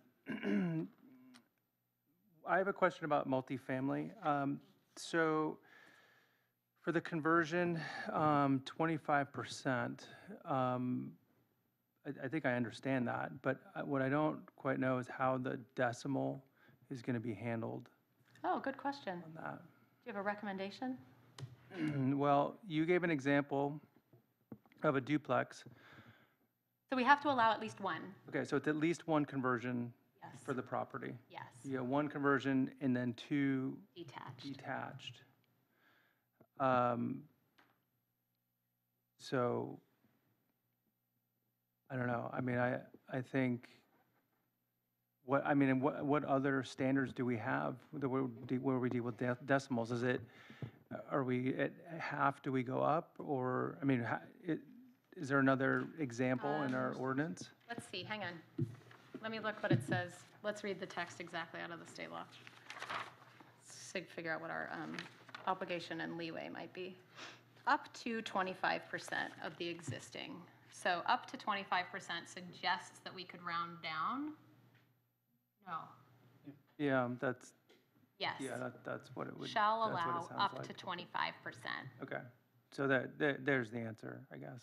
So I, if your commission feels that we should move, the- you know, these are minimum standards and we can be more generous as, you know, we Mm-hmm. prefer locally. So, you know, if you think we should round up at .5, Well, I mean, I think, I mean, if, it- if, yeah, I- I think so, but I mean, I, I'm open to hearing um, other people's, uh, or other commissioners' um, points of view on that.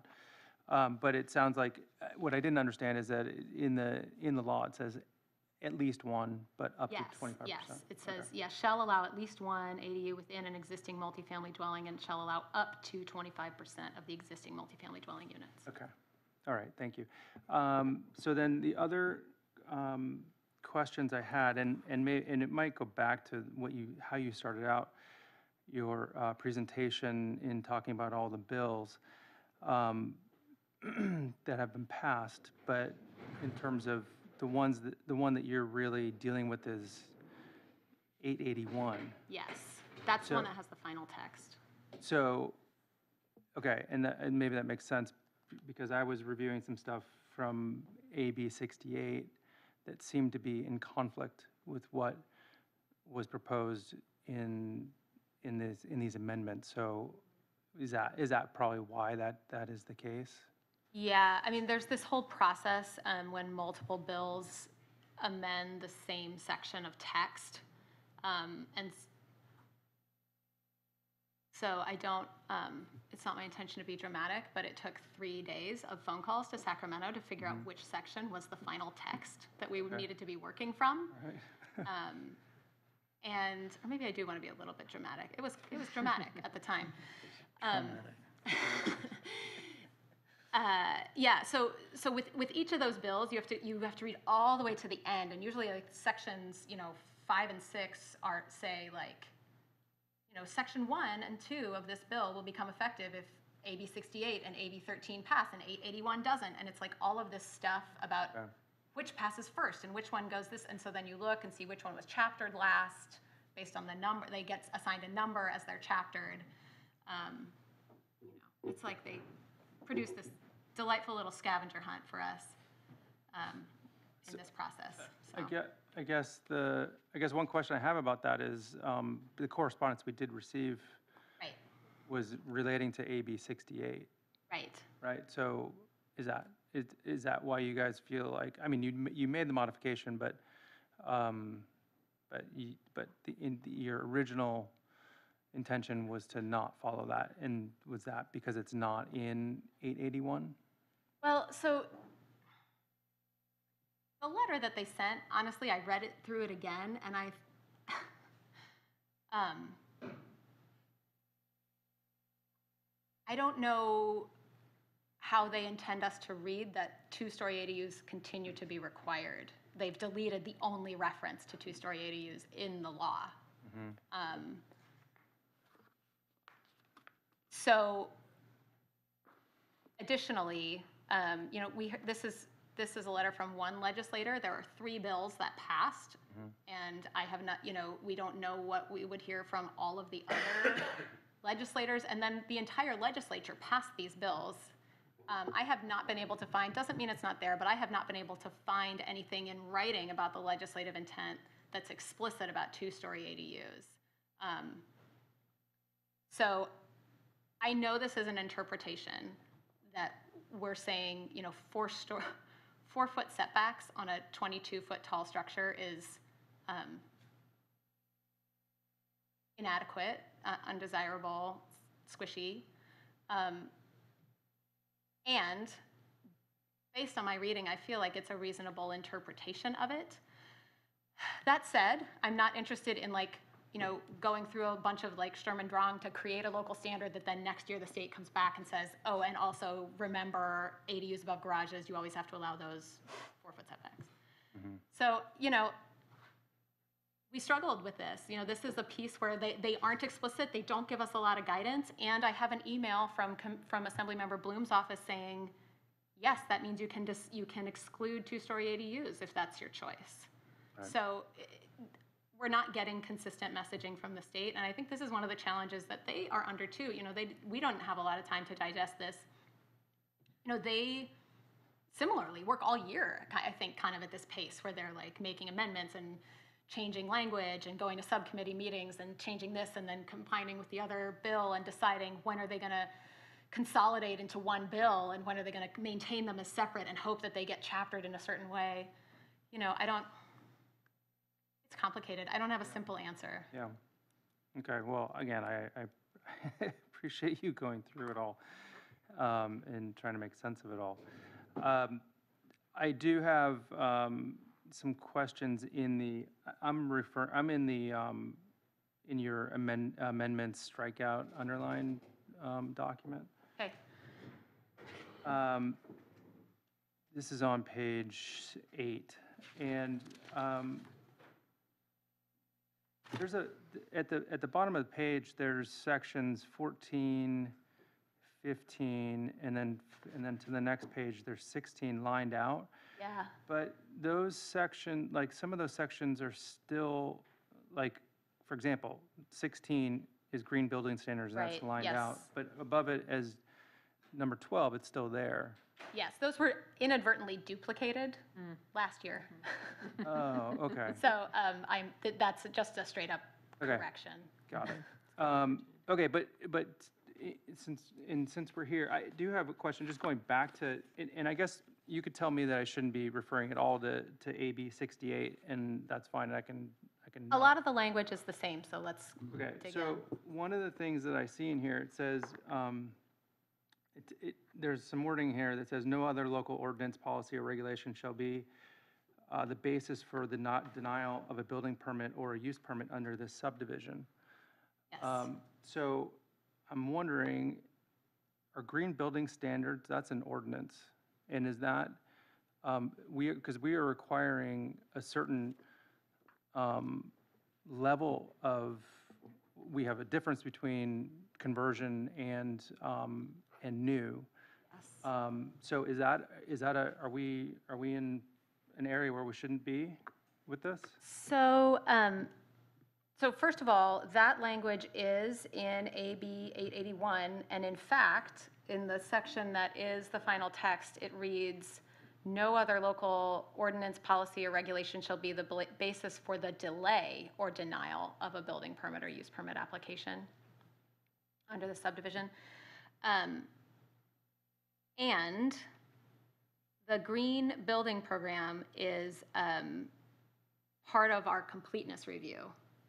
So in the same way that buildings have to comply with the building code when, and we will not accept an application or deem it complete until they comply with the building code, that is the same for the green building standards.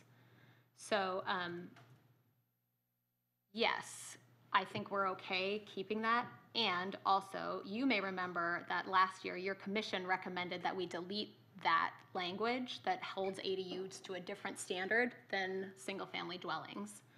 The council rejected that at the time and encouraged us to, or encouraged, directed us, they don't encourage, they directed us to um, look at ways that we could connect relieving folks of that requirement with affordability. When we go back to the council this year, we intend to take them an analysis about that, that removing this standard is unlikely to generate any affordability, and therefore we should just go ahead and delete it. We're going to be recommending that again to the council um, with new analysis. And also, should they not, should they choose not to go there and they want to keep that standard, I think we're okay.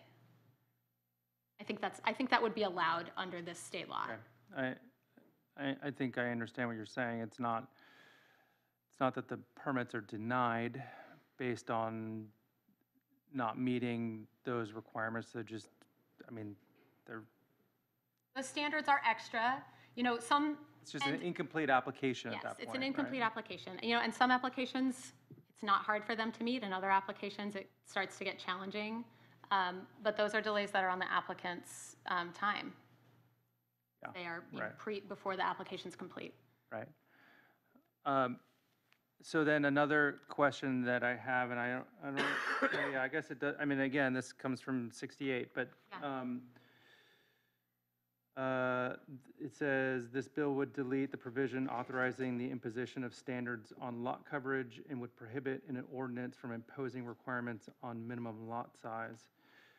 So uh, in, uh, on page 10, in s- in the same document, um, going to uh, section 5 about substandard lots, um, there is, there's um, just, uh, there's text in here about lot coverage. Right. Um, So how does that, um, how is that in compliance with this state law? So, the way they write these bills at the state, um, I was talking to one of the legislative aides about, you know, what it says in the law and what she thought it should say. And she's like, we just tell legislative counsel what we want it to say and then they write it.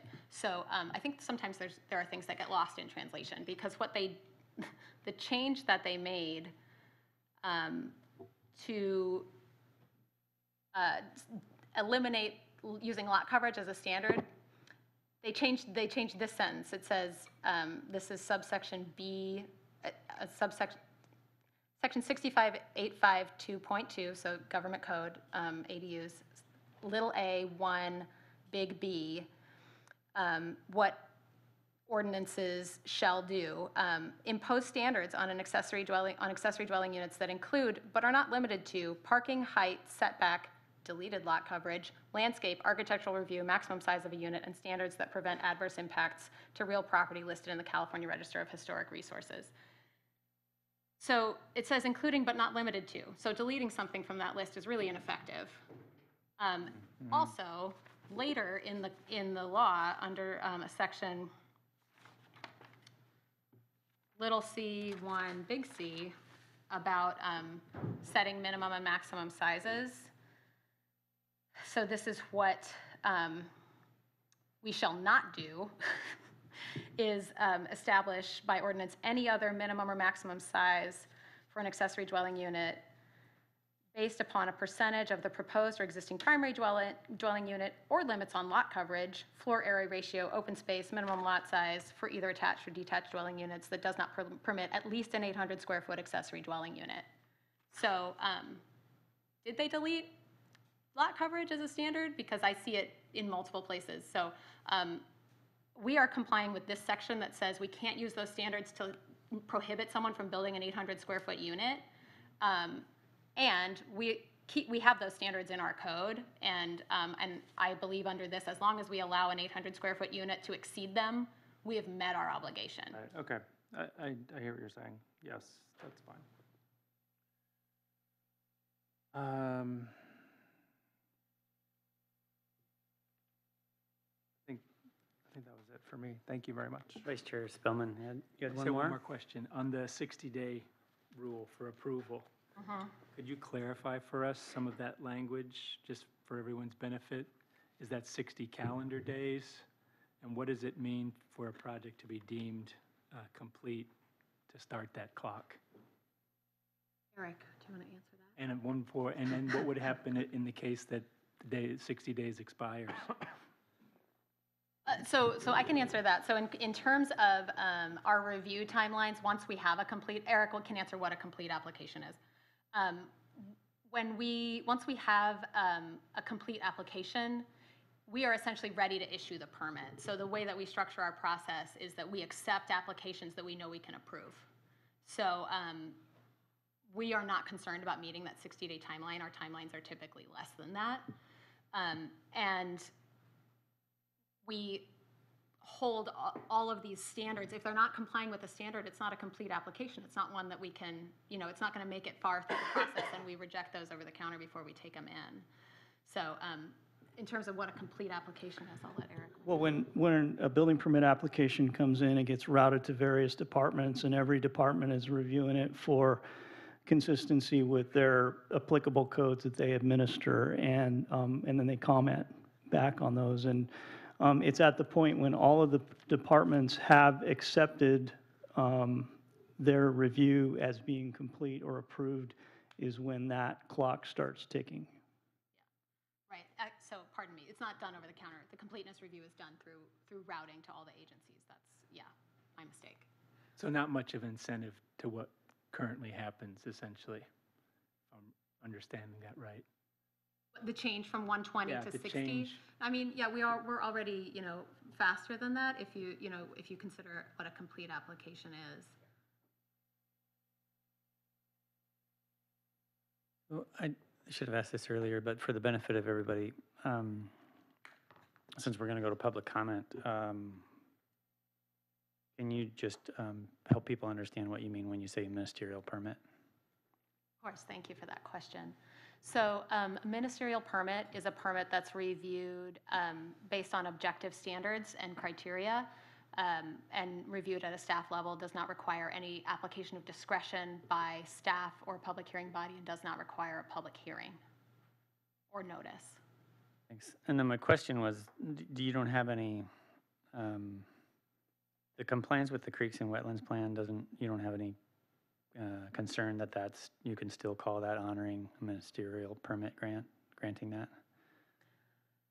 Um, So, you know, the, I think the language that we choose there, we, we want to choose that language carefully. So similar to the language we chose for the Secretary of the Interior standards, it's substantial compliance. That keeps us out of um, requiring CEQA on an, on an ADU. So um, we think we can do that. We think we, we, you know, we review things for substantial compliance with, you know, with the general plan and, and other parts of the zoning code. So I think, um, honestly, I think this is the best we can get because we can't require a watercourse development permit for an 800 square foot ADU. Okay. Um, I hope we can. I, not, I mean, I hope, I hope it, we can get this. Right, the, the intent is to uh, still be able to achieve those important protections, riparian protections, or historic preservation protections, um, and still operate under the legislative mandate to issue a ministerial permit. And so we will be reviewing for the standards that are spelled out in the streams and wetlands documents, as well as the Secretary of the Interior standards. And that review will occur as part of the ministerial process. Okay. You don't feel like we're out on a limb there. That's safe, right? I, well, we have coordinated with our attorneys, and um, uh, we think that um, the state code gives us the flexibility to apply standards. It explicitly calls out the historic preservation criteria, which is why that was in the initial draft. And with the other criteria, as Sarah was mentioning, it identifies that we have the ability to provide a wide range of standards. And in, in the case of streams and wetlands, you know, the setbacks from that document would be a part of those standards that we would be reviewing the application for conformance with. Okay, thanks. Any other questions before we go to public comment? So this is a public hearing. We'll invite um, members of the public to um, come and address the commission. We'll open the public comment now, and if you don't, uh, we can't require you to offer your name, but we invite you to do that and um, ask you to, and could sign in and then come to the lectern. Everyone can be given two minutes. The lights will go to um, yellow to let you know you're about out of time, and then red, and you'll hear a beep when it's, when time is up. Please help me as the facilitator of the meeting to finish your sentence and wrap your- up your comments um, when that happens. And um, that's all. Thank you. Yes. Welcome. Hi. I have a question about setbacks. Um, I know now that um, an existing building, like a garage, uh, can be on the property line. And uh, if you add to that building, uh, can you go along that same property line to add? Or do you have to come in four feet when you add to that building? One thing I, one thing I should have clarified also is that it's, it's a little ungratifying because it's not a dialogue. You, we just um, Oh, invite you to okay. offer your comments and then, All right. and then we'll try to address them when we close public comment. All right, uh, just another suggestion about um, uh, affordable housing. If you really wanted affordable housing, um, you would allow people to live in detached bedrooms. You know, you could have a, a, a- a small little building, meeting building codes, but not having any utilities per se, that, where they use the house, that, w- and it would be way more inexpensive to, uh, to do that and, uh, and allow more bedrooms and more people to live. Because the, the code enforcement loves to tell you that it's a detached bedroom, you're not allowed to sleep in it. And I don't see what is inherently degrading or scary about sleeping in a deta- detached bedroom. That's my comment. Thank you for your comments. Welcome. Thank you. My name is Eric Schneider. Um, Thank you all for your work. I really appreciate it. Um, I'm really happy to see the state's guidelines to create more housing in Santa Cruz. Uh, I'm a landlord.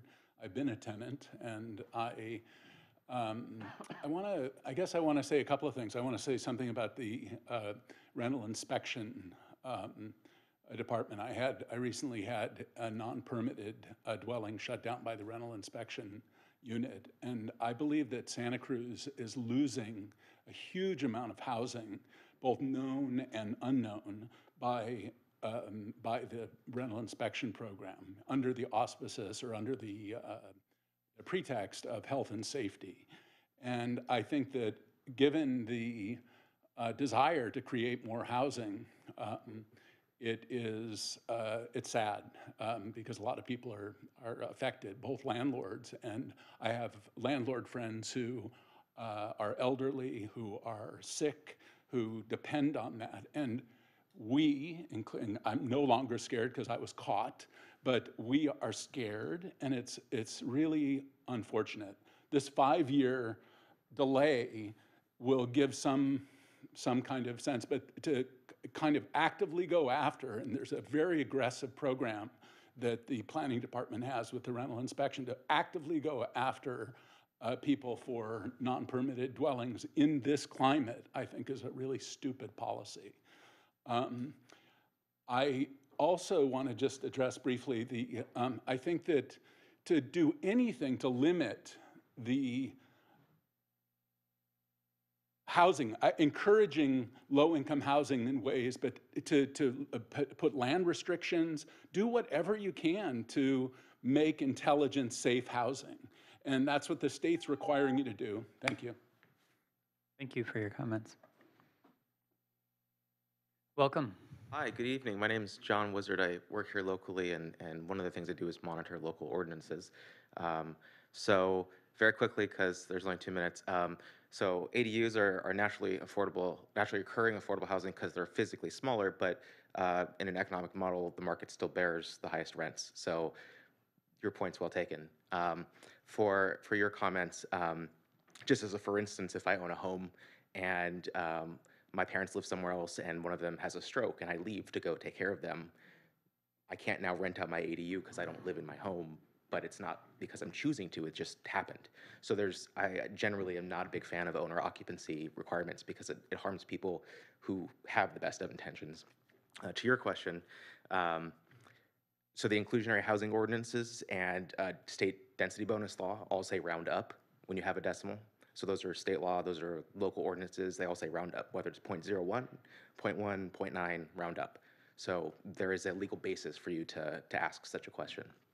Um, um, so I was really excited to hear that, that Assemblymember Ting's office sent that. Um, I looked at the law and I thought, wow, that's, um, or the, the proposed ordinance, and I thought, wow, that's really interesting. And then I thought, well, Assemb- Assemblymember Ting authored AB 68, so I that's interesting that he tracked that and, and followed up with you guys. So I, I appreciate that kind of give and take, and I generally not excited that like Assemblymember Bloom is talking about somebody else's law as though he knows the intent of what Assemblymember Ting did, but that's a whole different thing. Um, so I just, I, I'm appreciative of the, the compromise because I know that Santa Cruz has been a leader in ADUs. And when I saw that 20 foot setback, I thought that seems a little bit onerous because we're talking about land. It's not binary. It's, they're, they're uneven things and there are things that are naturally occurring. So I'm just really grateful that you guys are willing to, to have that conversation.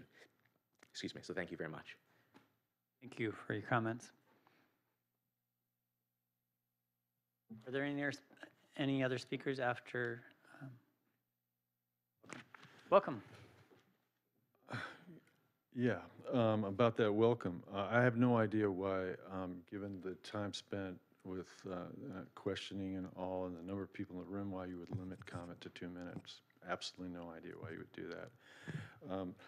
My name is Mark Primack. I uh, was actually one of the uh, architects uh, contributing a design to that original manual. Um, there were six paid. I was on the city council. Um, I couldn't uh, uh, get paid to do that work, but none of the architects uh, would lower themselves to design a garage conversion. So I volunteered such a design.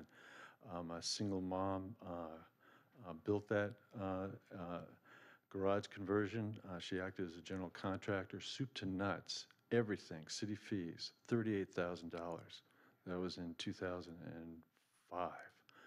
10 years later, I, I watched another woman stand up before the city council, explain that she and her husband had just gotten their permit, pulled their permit for an ADU in their backyard. They hadn't put a shovel in the ground and they'd already spent $50,000. I think when we talk about affordability, the buck stops here. It's city departments, it's uh, city policy that ruins the affordability of ADUs. Um, I think I can uh, shed some light on the five-year clauses in the state bills. I've been tracking these bills, and it's generally three steps forward, one step back. Uh, The bills this, in this round basically spoke of uh, doing away entirely with the owner occupancy requirement, retrospect, uh, retroactively, uh, that it would annul all of that. And, um, and so the compromise was five years for the new stuff, and within five years, um, uh, probably even within the next year, that the owner occupant, occupant requirement will go away. And that, and I say good riddance, and it'll save the city a lot of hassle, and it'll bring a lot of people forward to uh, create ADUs. The same is true of the well, I could tell, you- I could explain the five-year uh, uh, uh, um, delay on uh, enforcing uh, codes, but uh, I'm out of time. Thank you. Thank you for your comments. I think This will be the s- final speaker unless anyone else. Welcome. Uh, My ears just perked up a little bit when, um, you know, we were talking about the uh, 60-day requirement for approving um, a, uh, uh, an application. And uh, that prior to that approval, there is a process for um, uh, uh, verifying the completeness of that application. I was just wondering if there are any sort of standards or, or policies around how long that review process takes? And if not, um, I'm curious how long typically that review process does take and whether or not it would be warranted to develop some standards to, so that people have an understanding of uh, how, uh, you know, so there could be some expediency in, in working to get a, an application completed. Thank you. Thank you. Any other comments for the commission? So we'll close the uh, public comment. I can respond to the previous question if the commissioner would like. Welcome. Yeah, Um, please do. Sure, the, the policy is um, from submittal to the first round of comments is a three-week turnaround. Um, And then when the, uh, the application's resubmitted or the design's resubmitted, it's, it's down to two weeks. Um, And it can oftentimes be less than that if it's just very minor um, type of corrections that need to be made. But that's the policy. That policy, that policy comes from state law, right? Completeness review is a 30-day letter. No, that's our internal policy for Oh, building okay. permits. I see, Yeah. okay. And if it pleases the commission, there were two other questions that I think um, I tracked at least that we could Yeah, respond to. please do. Um, There was a question about, um, or a comment about not being able to leave and help out a sick parent. um, And we do have um, a provision whereby the, I believe it's a council approval, correct? Requires for- council approval. Yeah, it requires council approval, but it, it is set up for scenarios just like that, and I believe it's up to two years. Yeah, it's one year, and then administratively, um, the planning director can extend for another year. So, so there are options for, for special situations like that, so I just wanted to, to put that out there. And then there was another question about existing building, uh, like a garage on a, par- on a property line, and adding on to that. Um, Sarah, I'm gonna put you on the spot. Sure, yeah. Um, So, um, so currently, the code allows garages to be built at a zero setback. You could build a new garage at a zero setback, and there are many existing garages that are built, um, sometimes surprised, they're over the property line, um, which is, you know, always fun when we find that. But, so they can be built at a zero setback. New construction that is not going to be a garage does have to meet the setbacks that are required today in the zoning code. So um, for um, accessory structures, those are five feet. For Um, single-story ADUs, they're three feet, for For three, sure. three feet for a single-story ADU. And for accessory structures, do you know? off There the is top? no setbacks for, acce- just for non-habitable accessory Oh, for buildings. non-habitable, okay, right, so uh, like a garage, you could continue that at the zero setback.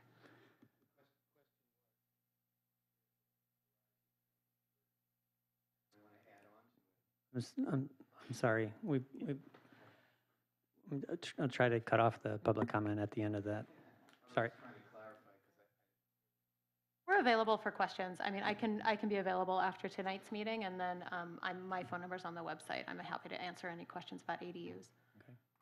And then were you, did you want to address any other questions from public comment? The detached bedroom, maybe clarifying for, So at this point, um, we do not allow detached bedrooms. Right, yes. Um, There are instances where um, they can be used for pool houses and uh, things of that sort, but they're not for um, sleeping purposes. Um, That is uh, something that um, we've heard not only from the member of the community that stood up here tonight, but from other members of the community as well. Um, There are building code and uh, planning code um, challenges, I would say, um, not necessarily insurmountable, but certainly things that we would need to look at in terms of how we are, um, uh, in terms of modifying our local regulations and how we're applying statewide regulations of the building code in order to achieve modifications to the uh, current regulations. We, we do have uh, guest houses allowed, um, but it's only in a. Residential, suburban, zone district, and there's Are very very few rare. properties in the city that have that. So I'll just add, though, um, you know, one of the things that is in, on the, um, the longer-term work plan for the um, ad- uh, advanced planning section is taking a look at our housing types. Um, And that comes out of the housing blueprint, is to take a look at, you know, are we providing the right kinds of housing in Santa Cruz? Um, You know, we want to take a look, specifically, we know we want to look at our SRO and SOU ordinances, but also more broadly than that, we want to, be you know, junior ADUs were initially going to be part of that project. Like, should we allow junior ADUs, and should we allow junior ADUs maybe in multifamily property? Should we allow more than one in a single-family home? You know, these, and some of that might get rolled in with the, you know, work that we begin in the springtime around ADUs and junior ADUs. Because I think there is definitely some hay to be made there with those ideas. But um, this concept of a detached bedroom would certainly be part of that bigger conversation around, are we creating the right kind of housing for the needs of our community? Detached bedrooms might be an option, lodging houses might be an option, um, allowing a mix of unit types when you have an SRO or SOU, so it's not just like a monoculture of those types of units. There's, that's a conversation. It's on our long-range work program. It hasn't been prioritized for the six months that we're in right now, um, but I have a feeling it will appear in some form on our two-year work plan, which is going to go to council at some point. When does it go to council? It'll be a three-year work plan that goes to council, and um, it'll be within the next six months. Okay, thank you. Commissioner Schifrin? Okay, I'll lead off. Thought you were leaning into your mic. No, I wasn't, but I'm happy to start. Um, Given the public comments, given most of the comments of the other commissioners, um, I I have an alternative perspective, I think, on accessory dwelling units. Um, My approach or my feeling about them is more ambivalent. I think they are a potential source of housing. I think the state law now um, has uh, changed the nature of what an accessory dwelling unit is. It's no longer an accessory dwelling unit. Uh, The condominium I live in is less than the maximum uh, uh, size of an accessory dwelling unit. My concern is one of trying to strike a balance between providing more housing and essentially destroying the single-family neighborhoods that exist in Santa Cruz um, through allowing uh, two, three, four uh, units on every single-family home property. Not only is this going to create lots more people in the neighborhoods, which is going to change them, but my particular concern is losing the owner occupancy requirement is going to mean that families will no longer be able to afford housing because they'll be bought up by investors who will then be converting them to uh, as many units as they can squeeze on the property. Uh, I'm concerned about the elimination of parking and what that's going to do in terms of um, the livability of neighborhoods. My sister used to live in Jersey City in a neighborhood that had no off-street parking because all the houses were built before there were cars. And there were knockdown, drag-out fights over parking. Cars were destroyed because somebody parked in somebody else's space in front of their house. We're moving towards creating uh, public, making public streets into private parking lots so that Washington Street now uh, is not available for public parking downtown at all. And I think as we lose parking spaces, um, we're going to see more and more of that. So I think what's missing from state law that I see is not only the uh, attempt by the state to have a broad brush and control development in every community, no matter what its uh, characteristics, uh, taking away from local government the ability to determine the quality of life in its community uh, without uh, much of a sense of balance. So my sense is um, that's the law. I can, I will support the staff recommendations. I do have uh, two suggestions to make. Given my concern about parking, as I think about how parking is being reduced and eliminated, it seems to be based on the notion that people, uh, if they can't have a place to park their car, they're not going to have a car. And um, that's a uh, um, questionable assumption, but I think um, as we want to encourage people to use other modes of transportation, we want to encourage uh, bike, bike, bicycling and uh, bus passes. I'd like the commission to consider, recommend that we add some provisions that tenants in accessory dwelling units be provided bus passes, and that accessory dwelling units provide uh, enclosed space for bicycles, uh, because the, um, to leave your bicycle outside is dangerous, as I think those of us who do it know. Um, And I think it's possible to include within, uh, a space within uh, an accessory dwelling unit that would allow people to, to um, park their bikes and would encourage bike parking.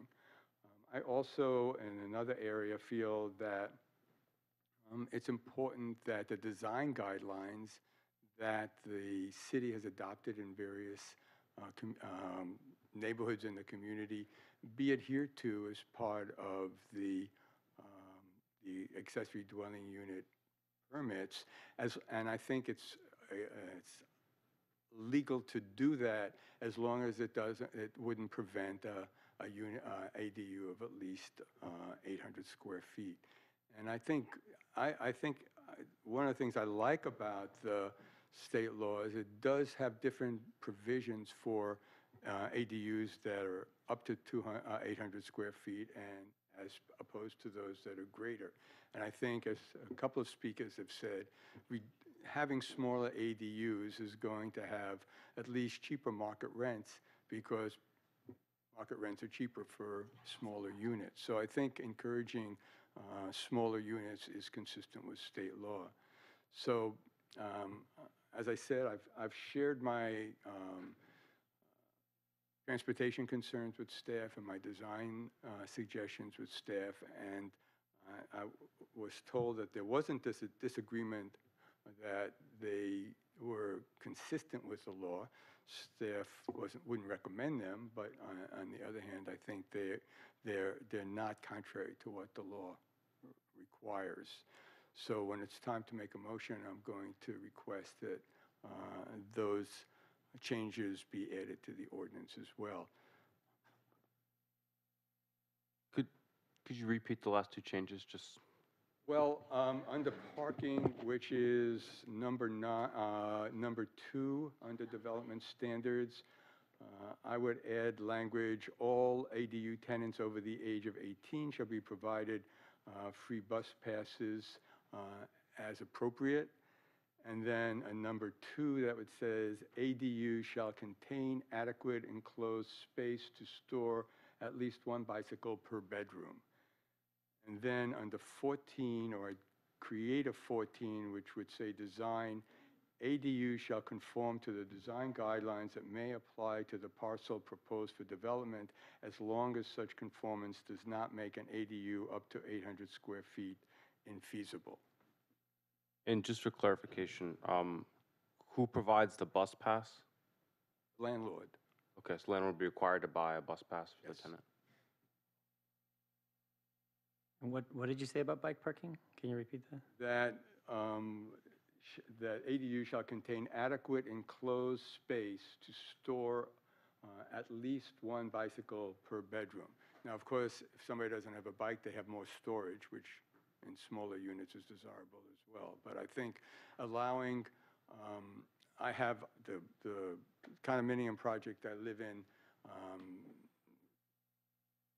does not provide any internal space and actually doesn't provide any external space for bike parking. And in, uh, in my particular unit, um, we ended up building a shed to hold the bikes because we didn't want to leave them outside in the rain in a little tiny patio that we had. So I think, you know, if we, if one of the goals here is to encourage people not to be having cars, not to be using cars, then we should do more than say, you can't, we're not going to require you to provide, we're not going to require parking.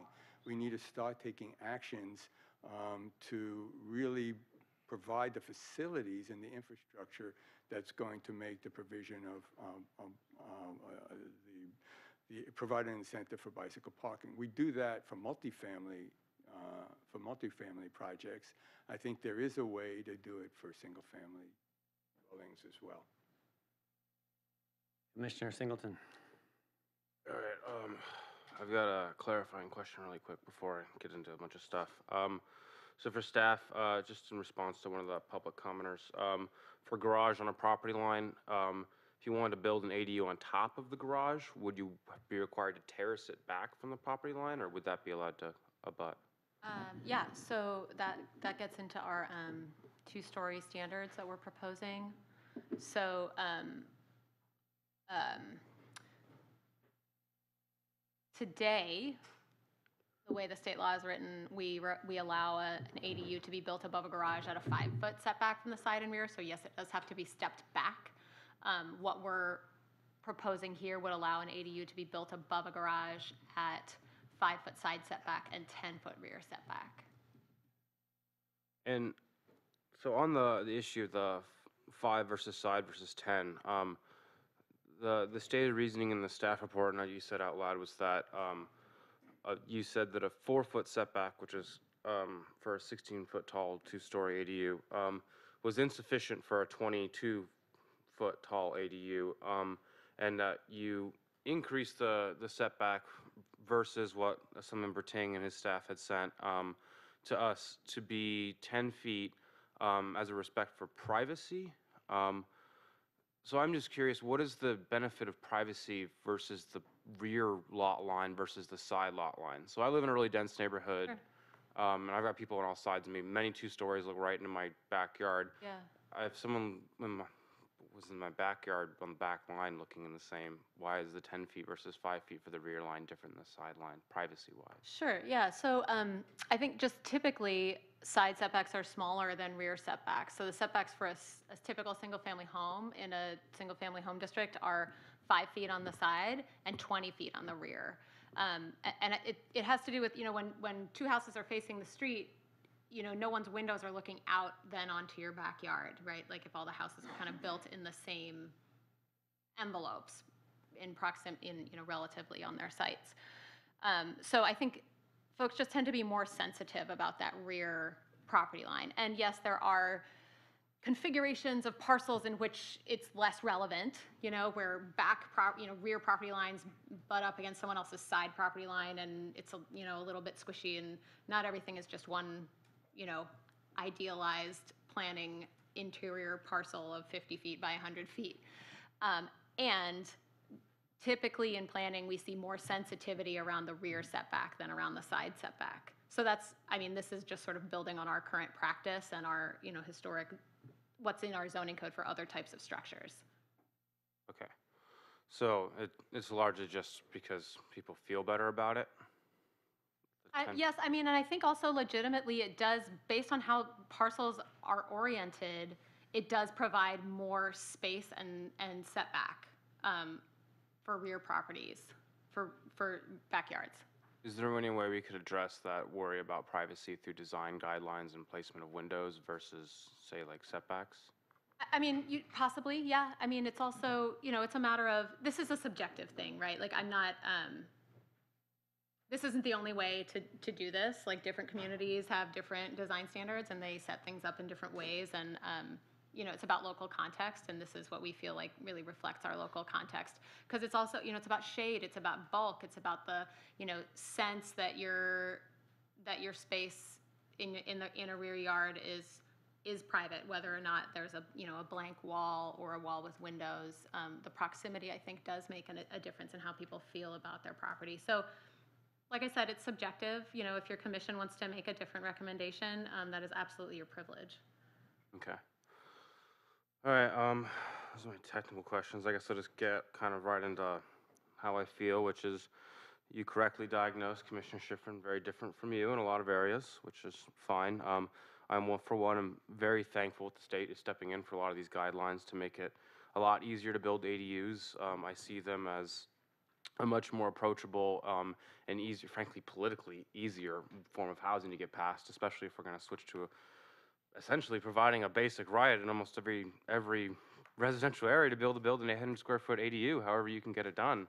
I mean, I think that's great, and the fact that it's a ministerial pr- approval process through 60 days. I mean, I think that's those are all steps in the right direction. Um, you know, the setbacks thing. Uh, if it makes people feel better, I mean, I, it's I, I I'm much more inclined to support the stack recommendation with the four-foot setback for two-story ADUs, but for the sake of just moving forward and moving us in the right direction, I'm, I'm, I'm fine with the 10, the 10-foot rear setback as a compromise. Um, in terms of just the impacts that ADUs have on neighborhoods, I mean, I've lived in a lot of ADUs. I've lived in an ADU that a public speaker uh, had here. Um, uh, I, I've even lived in a council member's ADU before. Um, I think they are uh, they're definitely more affordable units than if you're going to get a two-bedroom apartment or something like that. Um, you know, but there, frankly, there isn't a lot of affordable housing left in Santa Cruz, and you'd be really struggling to find a bedroom, even just in a house, for under thousand dollars these days. So in terms of affordability, and if we have the permitting fees, which are going to be tens of thousands of dollars, um, even with the waivers and because of the water hookups, and you know, we have some anecdotes about really expensive fees and things, and you know, in talking with people who have built ADUs recently, including that same council member, turns out it was a lot more expensive than he really thought it was going to be, over $100,000 in construction fees and everything. And that ROI uh, is, is, is a long, long shot. Um, well, it just takes a while. Um, so, I mean, in terms of like how we are imagining our community of the future, I mean, Santa Cruz is going to continue to grow. Um, our population growth rate has been remarkably consistent, uh, between 1 and 2% a year. And it's largely grown with the same population trends of the state. So we have to reimagine our neighborhoods and our communities and the densities and we live with if we're going to accommodate a diverse community. Um, so I'm less concerned about ADUs being in neighborhoods in terms of the overall density because I think every neighborhood's going to be more denser in the future. That's just the nature of, of coastal California. We've decided to make concentrated steps of, of, of concerted steps of protecting our green belts and our environmental open spaces. The other end of that compromise is to densify the areas where we think it's appropriate.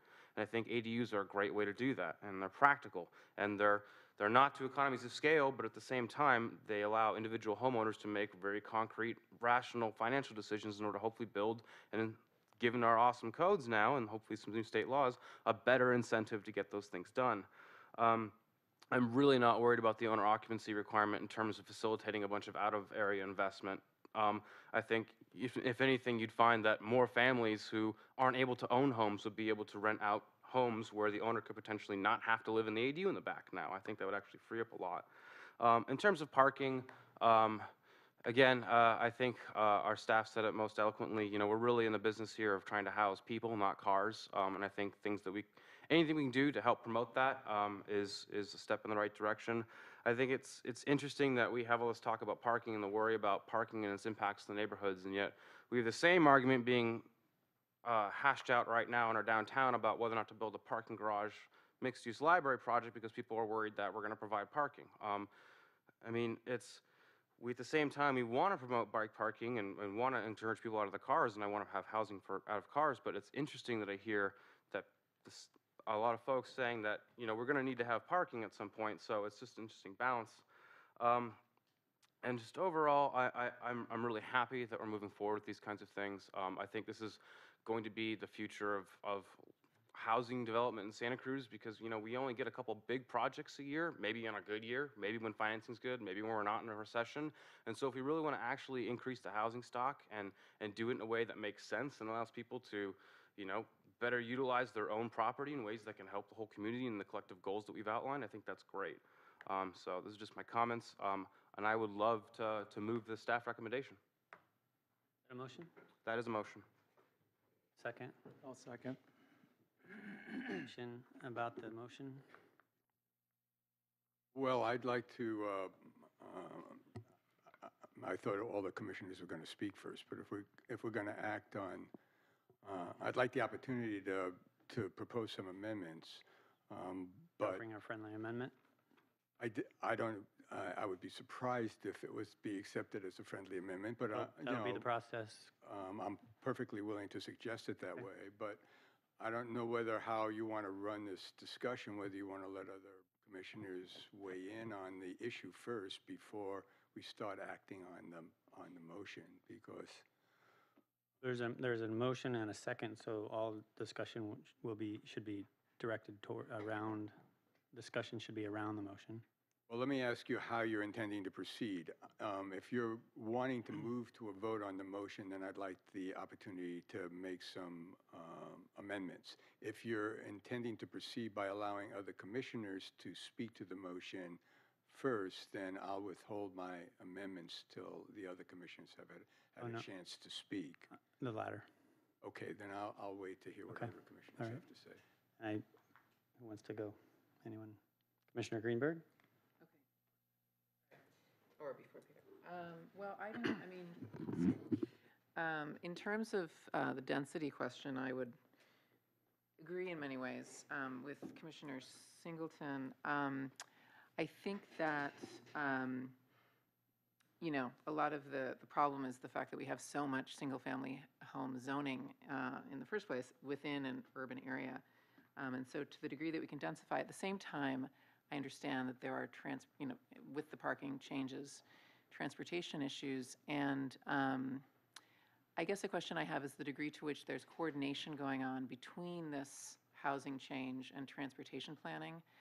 And for instance, bus lines and frequency of buses and any effort on the part of the metro or others. If, for instance, there's a significant percentage increase in population in neighborhoods as a result of, you know, single uh, ADUs being constructed. People are talking about there's going to be this like housing boom going on in cities around California. Is there a discussion at the state level or more locally around how that's being coordinated with public transit? Because ideally, we would have multifamily housing much more prevalent along corridors that would allow for transit.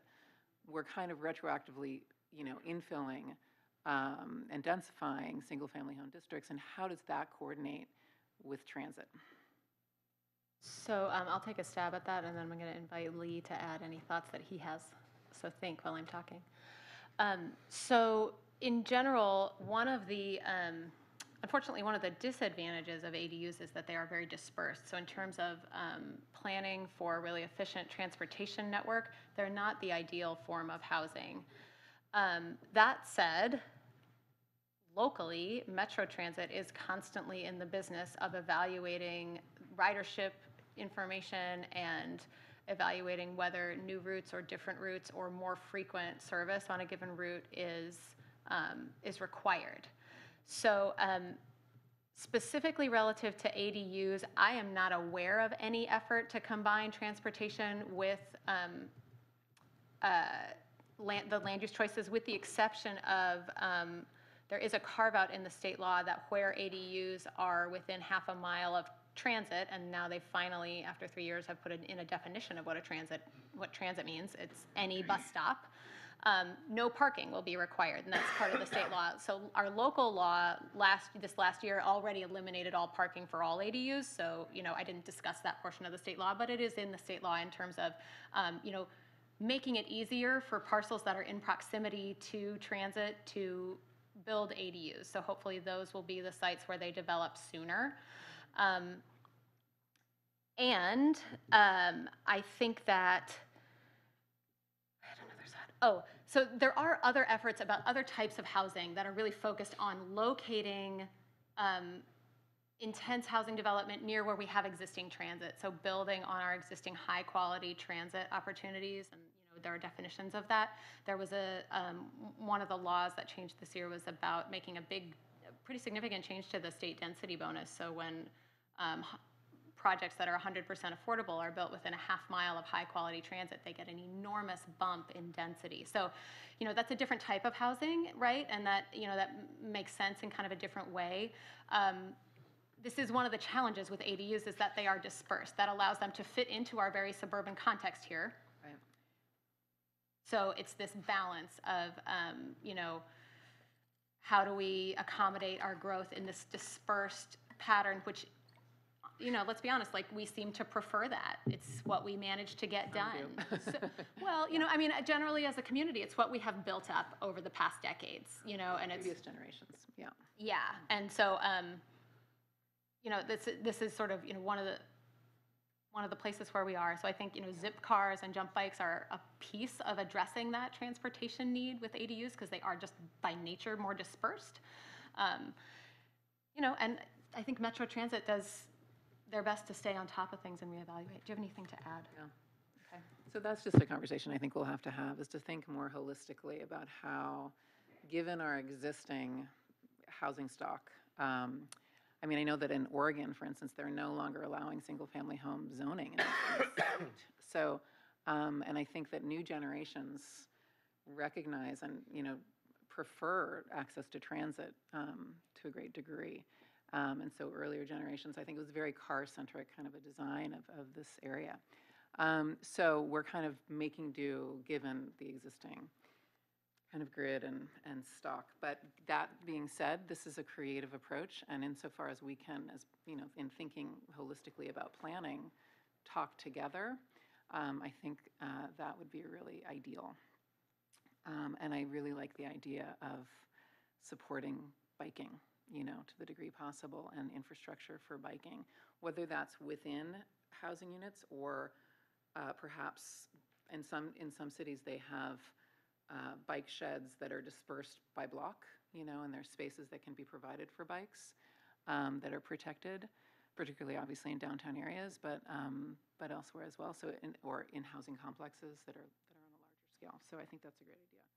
Um, The question of owner occupancy, I think, is an interesting one, and I, I agree that, you know, from what I've read, you know, after the foreclosure crisis in 2008, there was this huge influx of, of families renting homes um, as opposed to apartments, and we see that a lot in this community.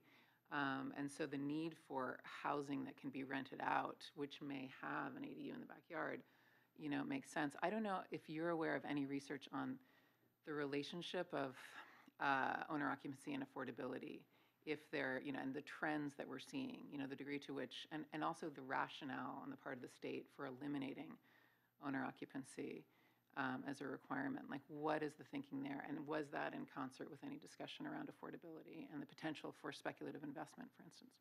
Um, Yeah, so I, I mean, I imagine that there, so this is, this year is not the first year that this idea has been floated about owner occupancy. It was, um, I believe it was part of the agenda, or, or part of some of the bills that didn't pass last year. And um, the, this, the concern about, you know, investor, prospecting, essentially, and like, you know, buying up sort of that bottom tier of for sale housing that's typically like the first step in for first-time home buyers. Um, I think that's a, that is a very real concern that's shared in a number of different communities. Um, And I think that the legislature is really focused and a lot, have a, they have a lot of policy right now that is really focused on volume um, and less so concerned about specific affordability levels in a lot of ways. So um, I know there are um, quite a number of communities, we looked into it last year, in California who don't require owner occupancy and have not required owner occ- occupancy for, you know, one year, eight years, you know, 25 years, never. Um, and they have a variety of different experiences with that set of circumstances. The thing to remember about ADUs is that um, communities don't use them in the same ways. I, last year, when I was working on the ADU recommendations, I was speaking with um, a planner who was in Sunnyvale, and they were like, you know, we don't really build that many ADUs here. And I was like, how can you not build that any, many ADUs? Like, it's like the most common inquiry we get at the counter. It's like the most, like, we build so many here. I mean, relatively, relative to our other application types. We take in so many applications for ADUs. You know, we probably produce between, you know, th- around 40 to 50 a year. and We expect that to go up. And um, she said, I mean, in Sunnyvale, we build apartments. Right. So, I mean, it's part of this, like, what's your whole housing policy and your whole zoning code and your whole general plan? And what are, you know, it, Yeah. this is a piece, right? ADUs are a piece, and right now, they are a politically easy piece to get through. Right. And so there is a lot of action on them and everyone's trying to make it like incrementally easier and incrementally cheaper. And great. And also, you know, I think tho- that increment of benefit is going to reduce, reduce, reduce. And owner occupancy is a big shift. I mean, that's one place where you can make one change and make a deep, profound shift in what's available to be built. Um, you know, investors are more likely to have the capital to do a project like this. They're much, they're more likely to be interested in doing a project like this. Um, and so we are about to enter a period where we will see what the effect is. It's hard to say. You know, prices are starting to soften, so maybe this is going to hit at just the right time. And I don't know. You know, it's it's hard to say. But um, I don't know that it was specifically ever linked with affordability. To get back to your specific question, um, I think it's really focused on numbers, Numbers and- production. Yeah, supply, yeah. Mm. Okay. Well, um, I support this. I mean, it's, it is a piece of m- a much larger, I mean, I like that graphic of all the solutions that need to be out there for affordability um, in the housing crisis. And this is a- a necessary piece, particularly in communities like ours. Um, We've been a leader in this area. Um, It's great that we could continue to be. Uh, I like the idea of others, creative strategies, and that there's going to be a conversation on how to bring costs down up front for the construction of ADUs, potential funding, um, and loan programs uh, that might, in- you know, kind of make it easier to, to rent at lower rates, potential deed restriction conversations as well that could be exchanged for that, um, but understanding that it's obviously one part of a much larger puzzle. So, thank you. Vice Chair Spellman, I think you were next. Thank you. Yeah, I mean, I think there's some good thoughts happening and some good dialogue. I would, I would argue that, you know, we're still being reactive in our discussion about our housing availability and adding housing to our community. Um, Even to the point where I think we should have had the discussions about owner occupancy already with the community. I think we put those in the back burner because we all thought it was coming and it was going to be approved. So now we're sitting here with a little kernel of a five-year for new ones, but it's not addressing the issue, right? How many units could we get tomorrow if that, uh, without having to build anything, right, uh, on the market? Um, So I'm interested in finding a way that we can be more proactive. I don't know if this commission can, can act as a, can we take a leadership position and propose to investigate these issues somewhat more thoroughly and be bringing concepts forward as opposed to just reacting? I think our, uh, our workload's been pretty light. And know, it's until we have discussions like this that people understand the complexity of these issues and the give and take to, you know, community building and adding housing. But we're what? We're four years into a, a housing crisis and a housing emergency, and we're just making baby steps. And we're just reacting to what the state is telling us to do. Um, we've lost the, the gumption to be the leader in ADU development and you know, a model for other communities to, to look to. Um, we have that history. We, we should be in, in that seat once again and start uh, coming up with, you know, the realities of what our community needs. You know, we can't exist as a single-family community, obviously, so we're going to have to come to terms with, you know, having a more dense uh, feel to our neighborhoods. Um, I think there's ways we can address some of those immediate issues. Uh, I'm glad that the the height limit for two-story ADUs was not followed through as, as staff had proposed. I think those were, were too restrictive, but, you know, if, if somebody's building to a four-foot setback, you can't have any openings in it anyway, right? You can't have windows or, or doors in it, so you're gonna have to either move further away to do that. Five feet is the, is the minimum for a, for a window in a, in a wall on an exterior property line. So those are in play. Um, we don't see many two-story ADUs that are actually housing, right? It's typically over a garage, and I would argue that that's probably more the incentive of what state bill is, is looking for. They scratched garage out of it because there, there apparently was an incentive to put one over a garage up until now, Yeah. um, which didn't make much sense. So we got a lot of garages now with ADUs sitting on top of them. Um, Probably not the best use of that, that space. Yeah, so I'm, I'm concerned about the timelines in general, right? We're not getting to these conversations to make decisions that are actually affecting our decisions as a community and how they relate to these issues. Um, Maybe the state will do it for us, but I think it would be important for us to, to understand where we stand as a community. So I would argue, I mean, I, the the ADU uh, community meeting that happened was a year, is that two years ago already now? Uh, It was a year ago in September, so a year and One year ago, 14 okay. months So probably one of the, you know, most well-attended Yeah. Uh, presentations that the city put on. It's obviously a hot button for the community. Um, uh, There's a lot of questions out there, even the changes that we're making today. Somebody who deals in this realm pretty regularly took quite a bit of reading to really understand what's, what's going on here. Right. Um, So I think those are important issues to find ways to communicate clearly Yeah. to the community. Um, So, uh, yeah, I'm, in- I'm in support of the, the measures that are in play, but I think we're, we're not addressing sufficiently um, our non-conforming existing housing stock.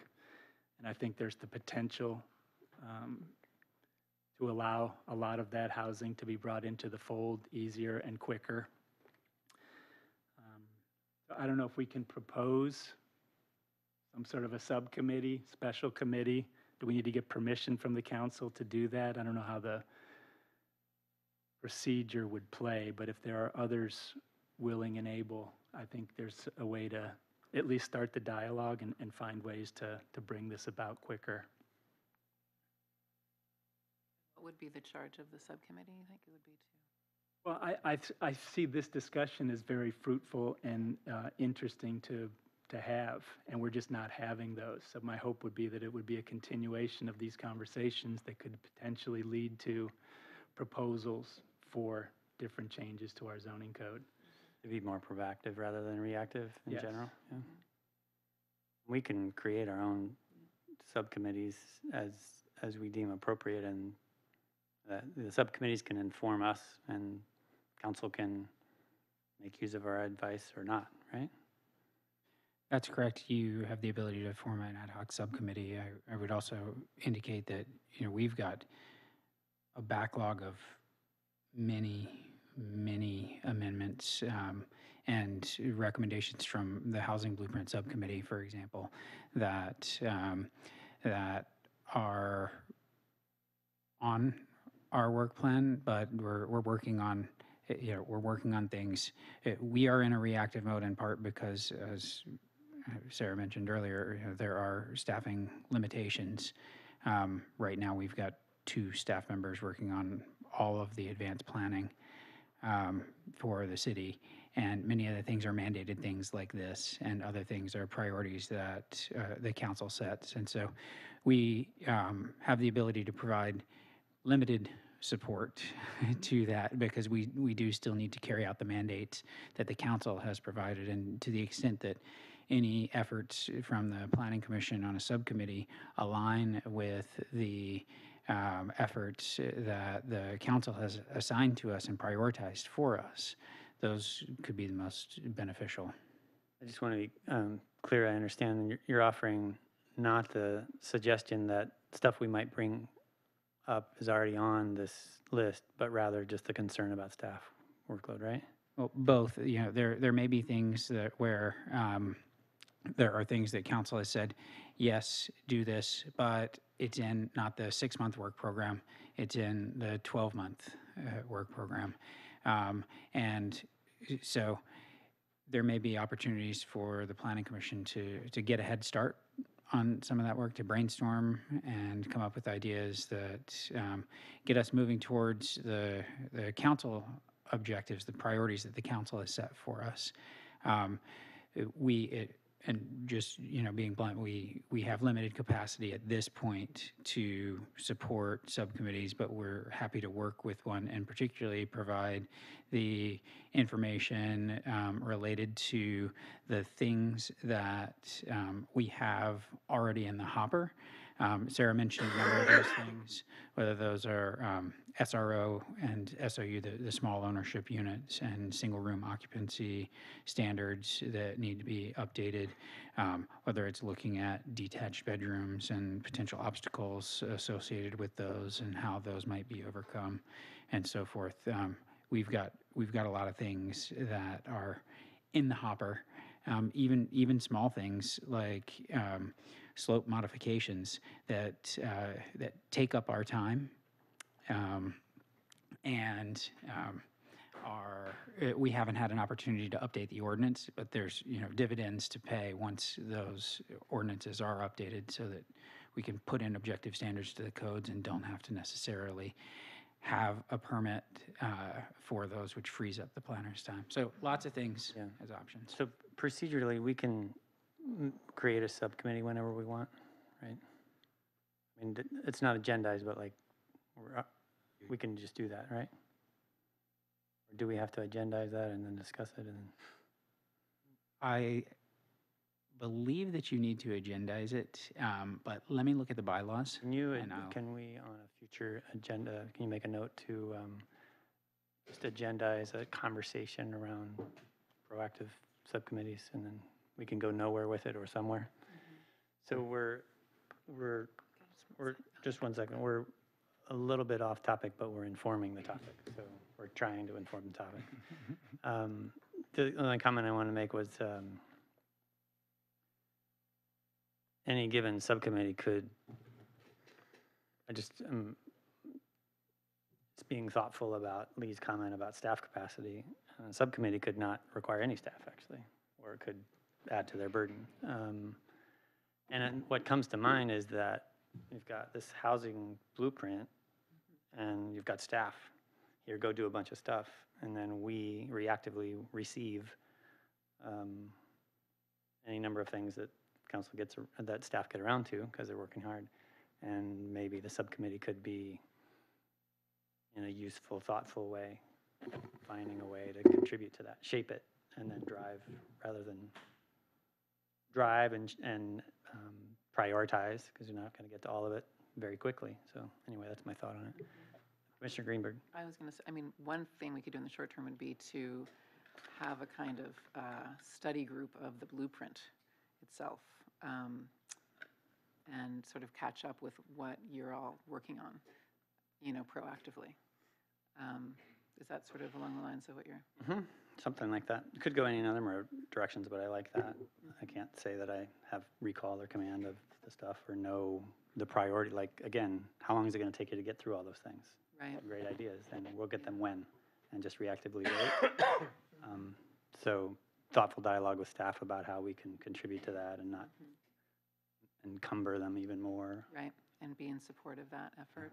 Mhm. So back to the question, um, Commissioner Schifrin, I would you talking res- about subcommittees or? Yes. um, A couple of thoughts. One, I think we are ranging off the topic that's uh, on the agenda. Mm-hmm. Uh, Although I would agree, I wish we did have a conversation about the commission's work program and what's coming up. Um, My I- my concern about trying to set up a subcommittee on this issue is that we'll get into the same problem that existed last year, where you start talking about things, it's so actively an issue in, at the state right now that we could just be spinning our wheels. Uh, If in fact, as some of the testimony is, the state's going to do away with owner occupancy totally, then why do we need to spend a lot of time on it? Because it's not something we're going to be able to do. So that's one concern. There's so much going on in terms of what the state's doing, what the council's doing. I'm not sure that that's, should be a priority for us. The other thing is, we're going to be facing, from my, my sense is, very significant issues with other state laws. I mean, SB 330 um, is going into effect soon, and that's going to affect housing development uh, overall. And I think, I would assume staff is going to be coming forward with that fairly soon to sort of talk about how we're going to deal with SB 330. And then we have the rezoning of the corridors that the council has sort of given direction that that be, um, you know, that be some resolution on that. My sense is that's going to need to come to us soon as well. So I think while we've been in this kind of hiatus for a while, there are things that are uh, significant that are going to be, uh, we're going to need to spend time on. Uh, I, I totally agree that it would be desirable for the, for the commission to be more proactive than reactive all the time. Um, But I think we have to choose our battles in terms of our time and staff's time uh, in ter, uh, as far as what we're likely uh, to be able to accomplish. I think, I think that needs to be the last uh, comment on potential subcommittees or work plan. Um, Any, so back to the conversation about the motion before us. Uh, Question of the motion. turn. Um, I'll keep it, I- I'll keep it quick, because I, I mean, every, it, a lot of this has already been said. Um, But I am all for easier, cheaper solutions um, to, in terms of getting the ADU, um, getting more ADUs built. That's, and I, and I think that's pretty much what we're um, seeing across the board. That's what's being brought down from the state. Easier, cheaper, get it done, get them built. Um, And I'm, I'm for that. Um, I think in terms of the, uh, I'll just, I'll just make a comment about the proactive piece. I think it is important. I think we are, we were on the leading edge of the ADU and, you know, and that's, and that's what we're talking about now, but what's the next thing? I mean, there, there's something else there too. And that's, maybe that's what you're um, potentially talking about, not just talking about like, how do we continue to refine the ADU ordinance, but, you know, how do we look at our, at our ordinance as a whole and figure out other ways to create this housing? Um, And I think that's a great idea. And I, and just based on the history of Santa Cruz and being kind of, you know, forward thinking around that, I think this is the, um, the right place for that to happen. So um, I appreciate that comment. Um, just one, uh, kind of an aside, um, about parking. Um, for me, like, one thing that I'm, I struggle with is covered parking and the requirement for covered parking just within the ordinance altogether.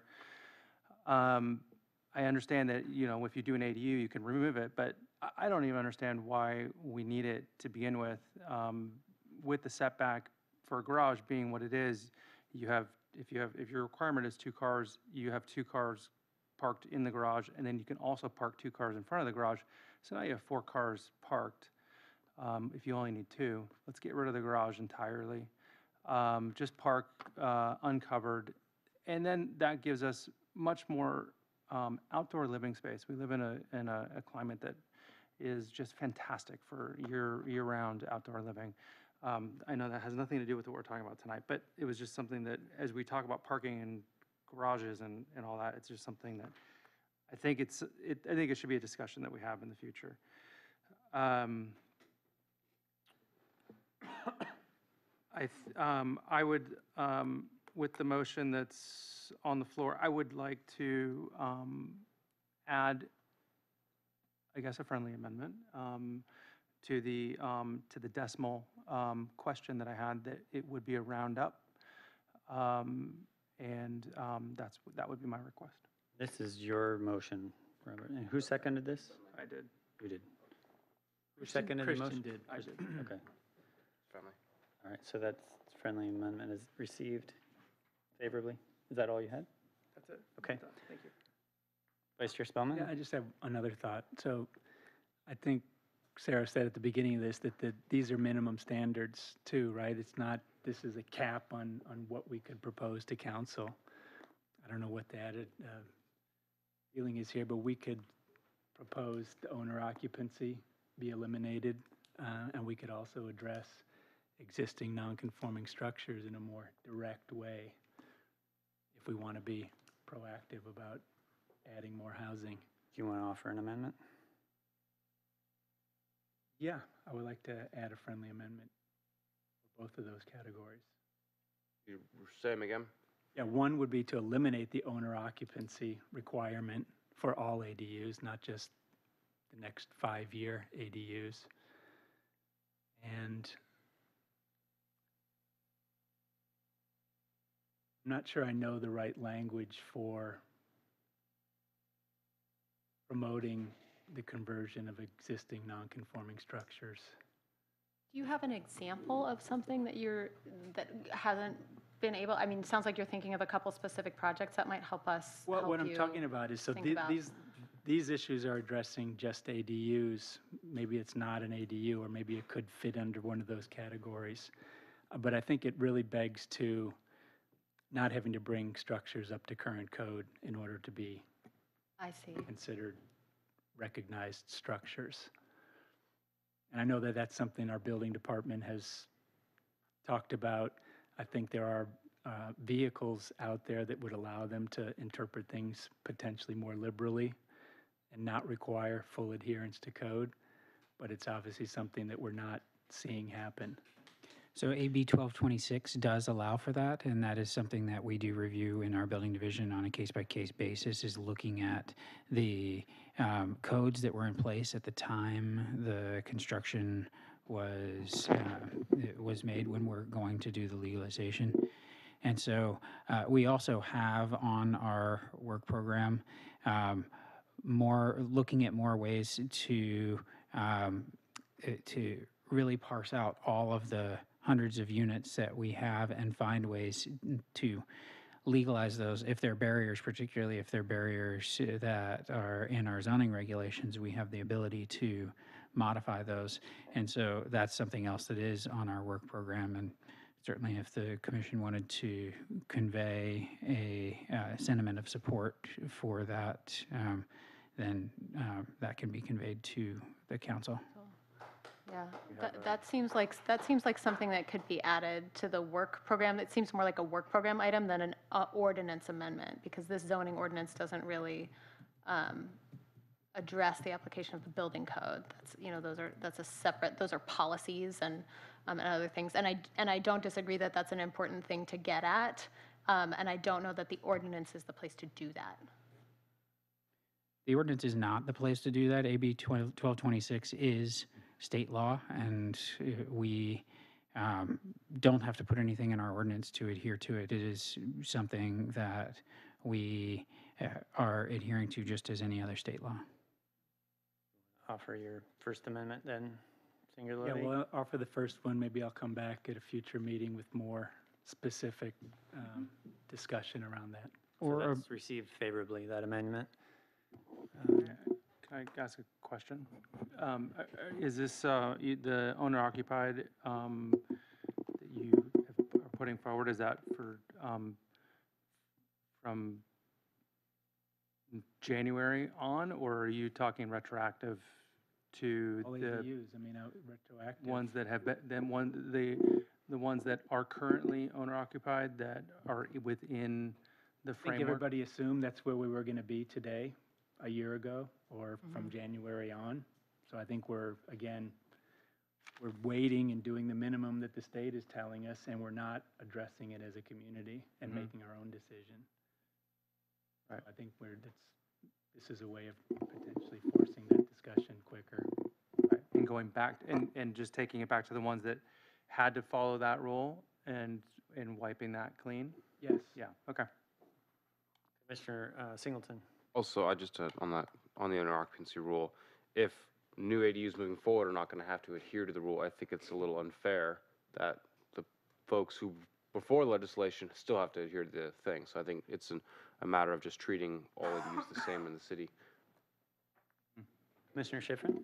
Yeah, as I remember, the, this commission has already uh, recommended to the council that they remove the owner occupancy requirement, and the council refused to do it. So uh, I think certainly it's, it's the- it- at the commission's discretion, but um, it's kind of like thumbing their nose at the council. I think staff um, has laid out a process for looking at owner occupancy over the coming year in a way that um, looks at a number of options and will deal with this issue in a more comprehensive way. So I think it's, uh, I wanted to support the motion. I won't support the motion if it includes uh, this provision.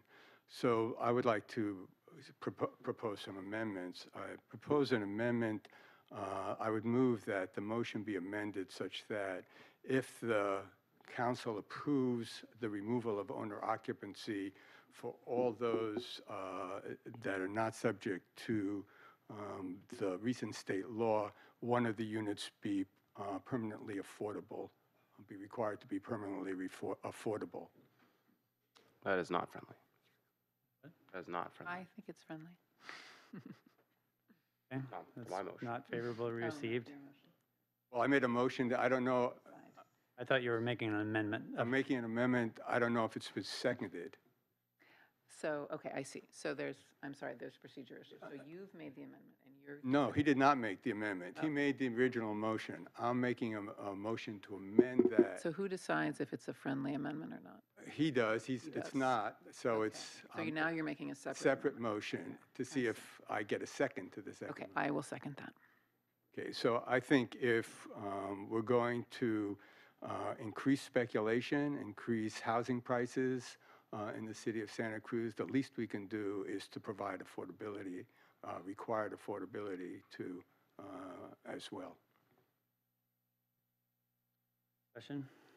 If I I mean- could just clarify, i- the intent of the motion is if they remove the affordability requirement on existing, because moving forward for the next five years, there is no owner occupancy. Those Yeah, that are for not existing. subject Okay, to thank the you. new state law. Yeah, and I would just say that given the documents that you provided, that would be kind of returning to the effort that was proposed, um, you know, during the blueprint discussion, which seemed like, you know, a community-led conversation as well. So, um, and, you know, over, overwhelmingly influenced by the concern over affordability. Um, So while it wouldn't apply to all units, it would still be somewhat in, in effect. So I, I would support that. So I've tried to be good about this, but I'm confused procedurally now because we have nested motions. Can one of you help me with how to properly navigate this? I believe the way that it should work is that um, there is, the main motion is on the floor, there is a, a separate motion to amend. There can be discussion on the uh, motion to amend, and then vote on the motion to amend, and then it goes back to the main motion. Okay, all right. Any discussion around the motion to amend? Commiss- uh, Vice Chair Spellman and then Yeah. Commissioner Singleton. I think uh, the state's approach is not going to require affordability requirements, and I think we've had the discussion that for ADUs, we're not, uh, we're burdening them already, uh, and the affordability piece is yet again another burden being placed on those. So I don't think that that's a, an incentive to get the ADUs built. I think it's unfortunately the, the opposite. Commissioner Singleton? Yeah, I just, I don't think you're going to see a lot of speculation as a result of the owner occupancy requirement going in. And if anything, uh, if putting the affordability attachment that we've had on previously for certain concessions offered for ADU hasn't resulted in a lot of AD, affordable ADUs being brought on the market. If anything, I think it's deterred people from going through with the incentive that we wanted, or the action we wanted to take, which is create more affordable housing. If we wanted to create more affordable housing, I would offer them something rather than imposing something. So I think it's just the wrong approach fundamentally. So I will not be supporting the amendment. Other discussion? Is, is what's being offered, though, the uh, elimination of the owner occupancy requirement? So that's the change, and it's already existing ADUs. It's not about producing new ones or incentivizing the production of new ones. It's for people who already have ADUs, who, who wish to pursue, who wish to, you know, not have it be bound by owner occupancy. And I think by imposing an owner occupancy, or by, we are going to retroactively allow the owner occupancy requirement to, to not apply to those units in the hopes that they create more rental units. And I think if you were to say the condition of that owner occupancy requirement being removed, uh, you have to have it affordable, we wouldn't get the units we otherwise would get by removing the requirement anyways. Any other discussion of the motion to amend? Well, And we only have, what, 700 some odd ADUs? Uh, Less than that. We've, Less than uh, that. I mean, well, legal ones, we have just under 500, and I think illegal ones, oh, actually, maybe more than that, because illegal ones, we have So I'm really talking 300, about right? future 350. ADUs. I mean, there are, Aren't those already bound by the lifting? Yes, the future ones For the under next state years. law, Five or at least for the next five years, are not subject to it. So it would only be that existing ADUs would uh, lose the own, you, we'd be gaining no new ADUs uh, potentially. Um, What we'd be getting is just a bunch of speculation in real estate. no, what we'd be getting is additional units on the market. So So I- you- Not at a think- higher price. I think we have some disagreement about that, and that's fine. Um, So I think we're ready to Vote. vote for this. All in favor, and this is, to be clear, of Commissioner Schifrin's um, motion to amend. All in favor? Aye? Aye. All opposed? No? no, No. So the motion to amend fails, and now we're back to Commissioner Singleton. No, I'd like to make another motion to amend the motion on the floor in terms of parking, and that under the development standards uh, for, um, and number two, on the parking, there'd be an added uh, provision that ADU shall contain adequate enclosed space to store at least one bicycle per bedroom. It's not friendly. I mean, I, I sit in the Board of Bike Santa Cruz County. I really want to encourage biking. I don't think adding another requirement on new housing is, is, you might encourage some people to park their bike who otherwise wouldn't take the space. Otherwise, it's not clear there's a direct correlation that more people will bike because they all of a sudden have more space mandated in the ADU that was created. I think it's, it's just another, another thing that we're adding on, and I'd rather avoid the death by a thousand cuts. I think it'd be a wonderful selling point to have on-site bike parking, but I just shouldn't think it'd be a requirement, and I think most cyclists who are looking at new transportation, looking at new housing would agree that that shouldn't be required of any individual landlord trying to build an ADU. I- I Commissioner, always think it's- Commissioner Schifrin, would you like to make, uh, you- would you like, so it's not friendly received? Yeah, I'm making it as a motion to amend to see if I get a second. Is there a second? I would need to know more about the logistics of that. um, There's n- no second. Um, Any other discussion of the original motion? strategy for. Are- Are there, are there uh, other examples of this? I mean, are there Not that I know of. precedents for this? Uh, Let me just say one thing about parking. I, I sort of turn around what um, Commissioner Singleton said uh, in terms of the contradiction between people who uh, worry about, like me, worry about parking in neighborhoods, uh, and then people who don't want parking downtown. I happen to be a person who wants parking downtown. Um, My concern is that we're, and I support increasing the, you know, the feasibility of doing uh, accessory dwelling units. I think they are an important addition to the community, and they should be supported. But I think it's important to recognize that there are some costs involved. Um, Traffic in Santa Cruz is terrible. I know people who have left Santa Cruz not because they can't afford it, although there are certainly people who have left for that reason, but because they don't like the traffic. Um, We're gonna lose what was um, initially historically attractive in people leaving the big cities because they wanted more small town quality, and we're in the process of destroying that small town quality. There are reasons for doing that. There's justification for providing accessory dwelling units, but it's important to recognize that there are costs to doing that. The lack of uh, uh, parking is going to be one of them. There's going to be a lot more cars on the streets in the neighborhood, and the, you know, the whole nature of the community is going to change. We're a university community, maybe that should be expected, that we're going to have a lot more young people around, a lot fewer families. But I think it's important to take that into consideration, that the community is changing, and as we um, try to adjust to these changes, which is going to mean a lot more housing, not any wider streets, uh, not any uh, greater number of parking spaces, there are going to be costs to the community. Uh, There are already costs to the community in terms of the density that we have. So I think the proposal I made was trying to not just give lip service to, yes, I support bicycles, yes, I support mo- multimodal transportation, but what are we really doing to get it, uh, to make it happen, to encourage people to uh, create, to actually use different um, different means of transportation. Not providing parking spaces, I've seen no evidence that that really works in terms of reducing the number of cars people have. So, um, Is there anything that exists? So if we've, might- we've all spoken uh, at length, and I'm, I don't know that I'm doing a great job of driving the agenda. Um, So I'm going to call for a roll call vote. Commissioner Schifrin? I'm going to vote, uh, I guess I'm going to vote no, but I'd like the record to show that I would have voted yes if it wasn't for the owner occupancy require, uh, the only owner occupancy provision. Sorry, um, Ste- you have a question, Lee? I, I was asking, is this the amendment that, uh, did? There was no Amendment didn't get a second. Get a Thank you. second, so, yeah. Thank you. So what, did you, did, I kind of interrupted you because Lee had a question. Did you get your um, qualifications stated? I got my qualifications stated. I don't know if it was, Yeah, okay. Uh, Spellman? Aye. Nielsen? Aye. Greenberg? Aye. Singleton? Aye. Chair Pepping? Aye. So the motion passes uh, five to one, and that was our only agenda item, so our meeting is adjourned. Thank you to members of the public who endured the long meeting and came to speak.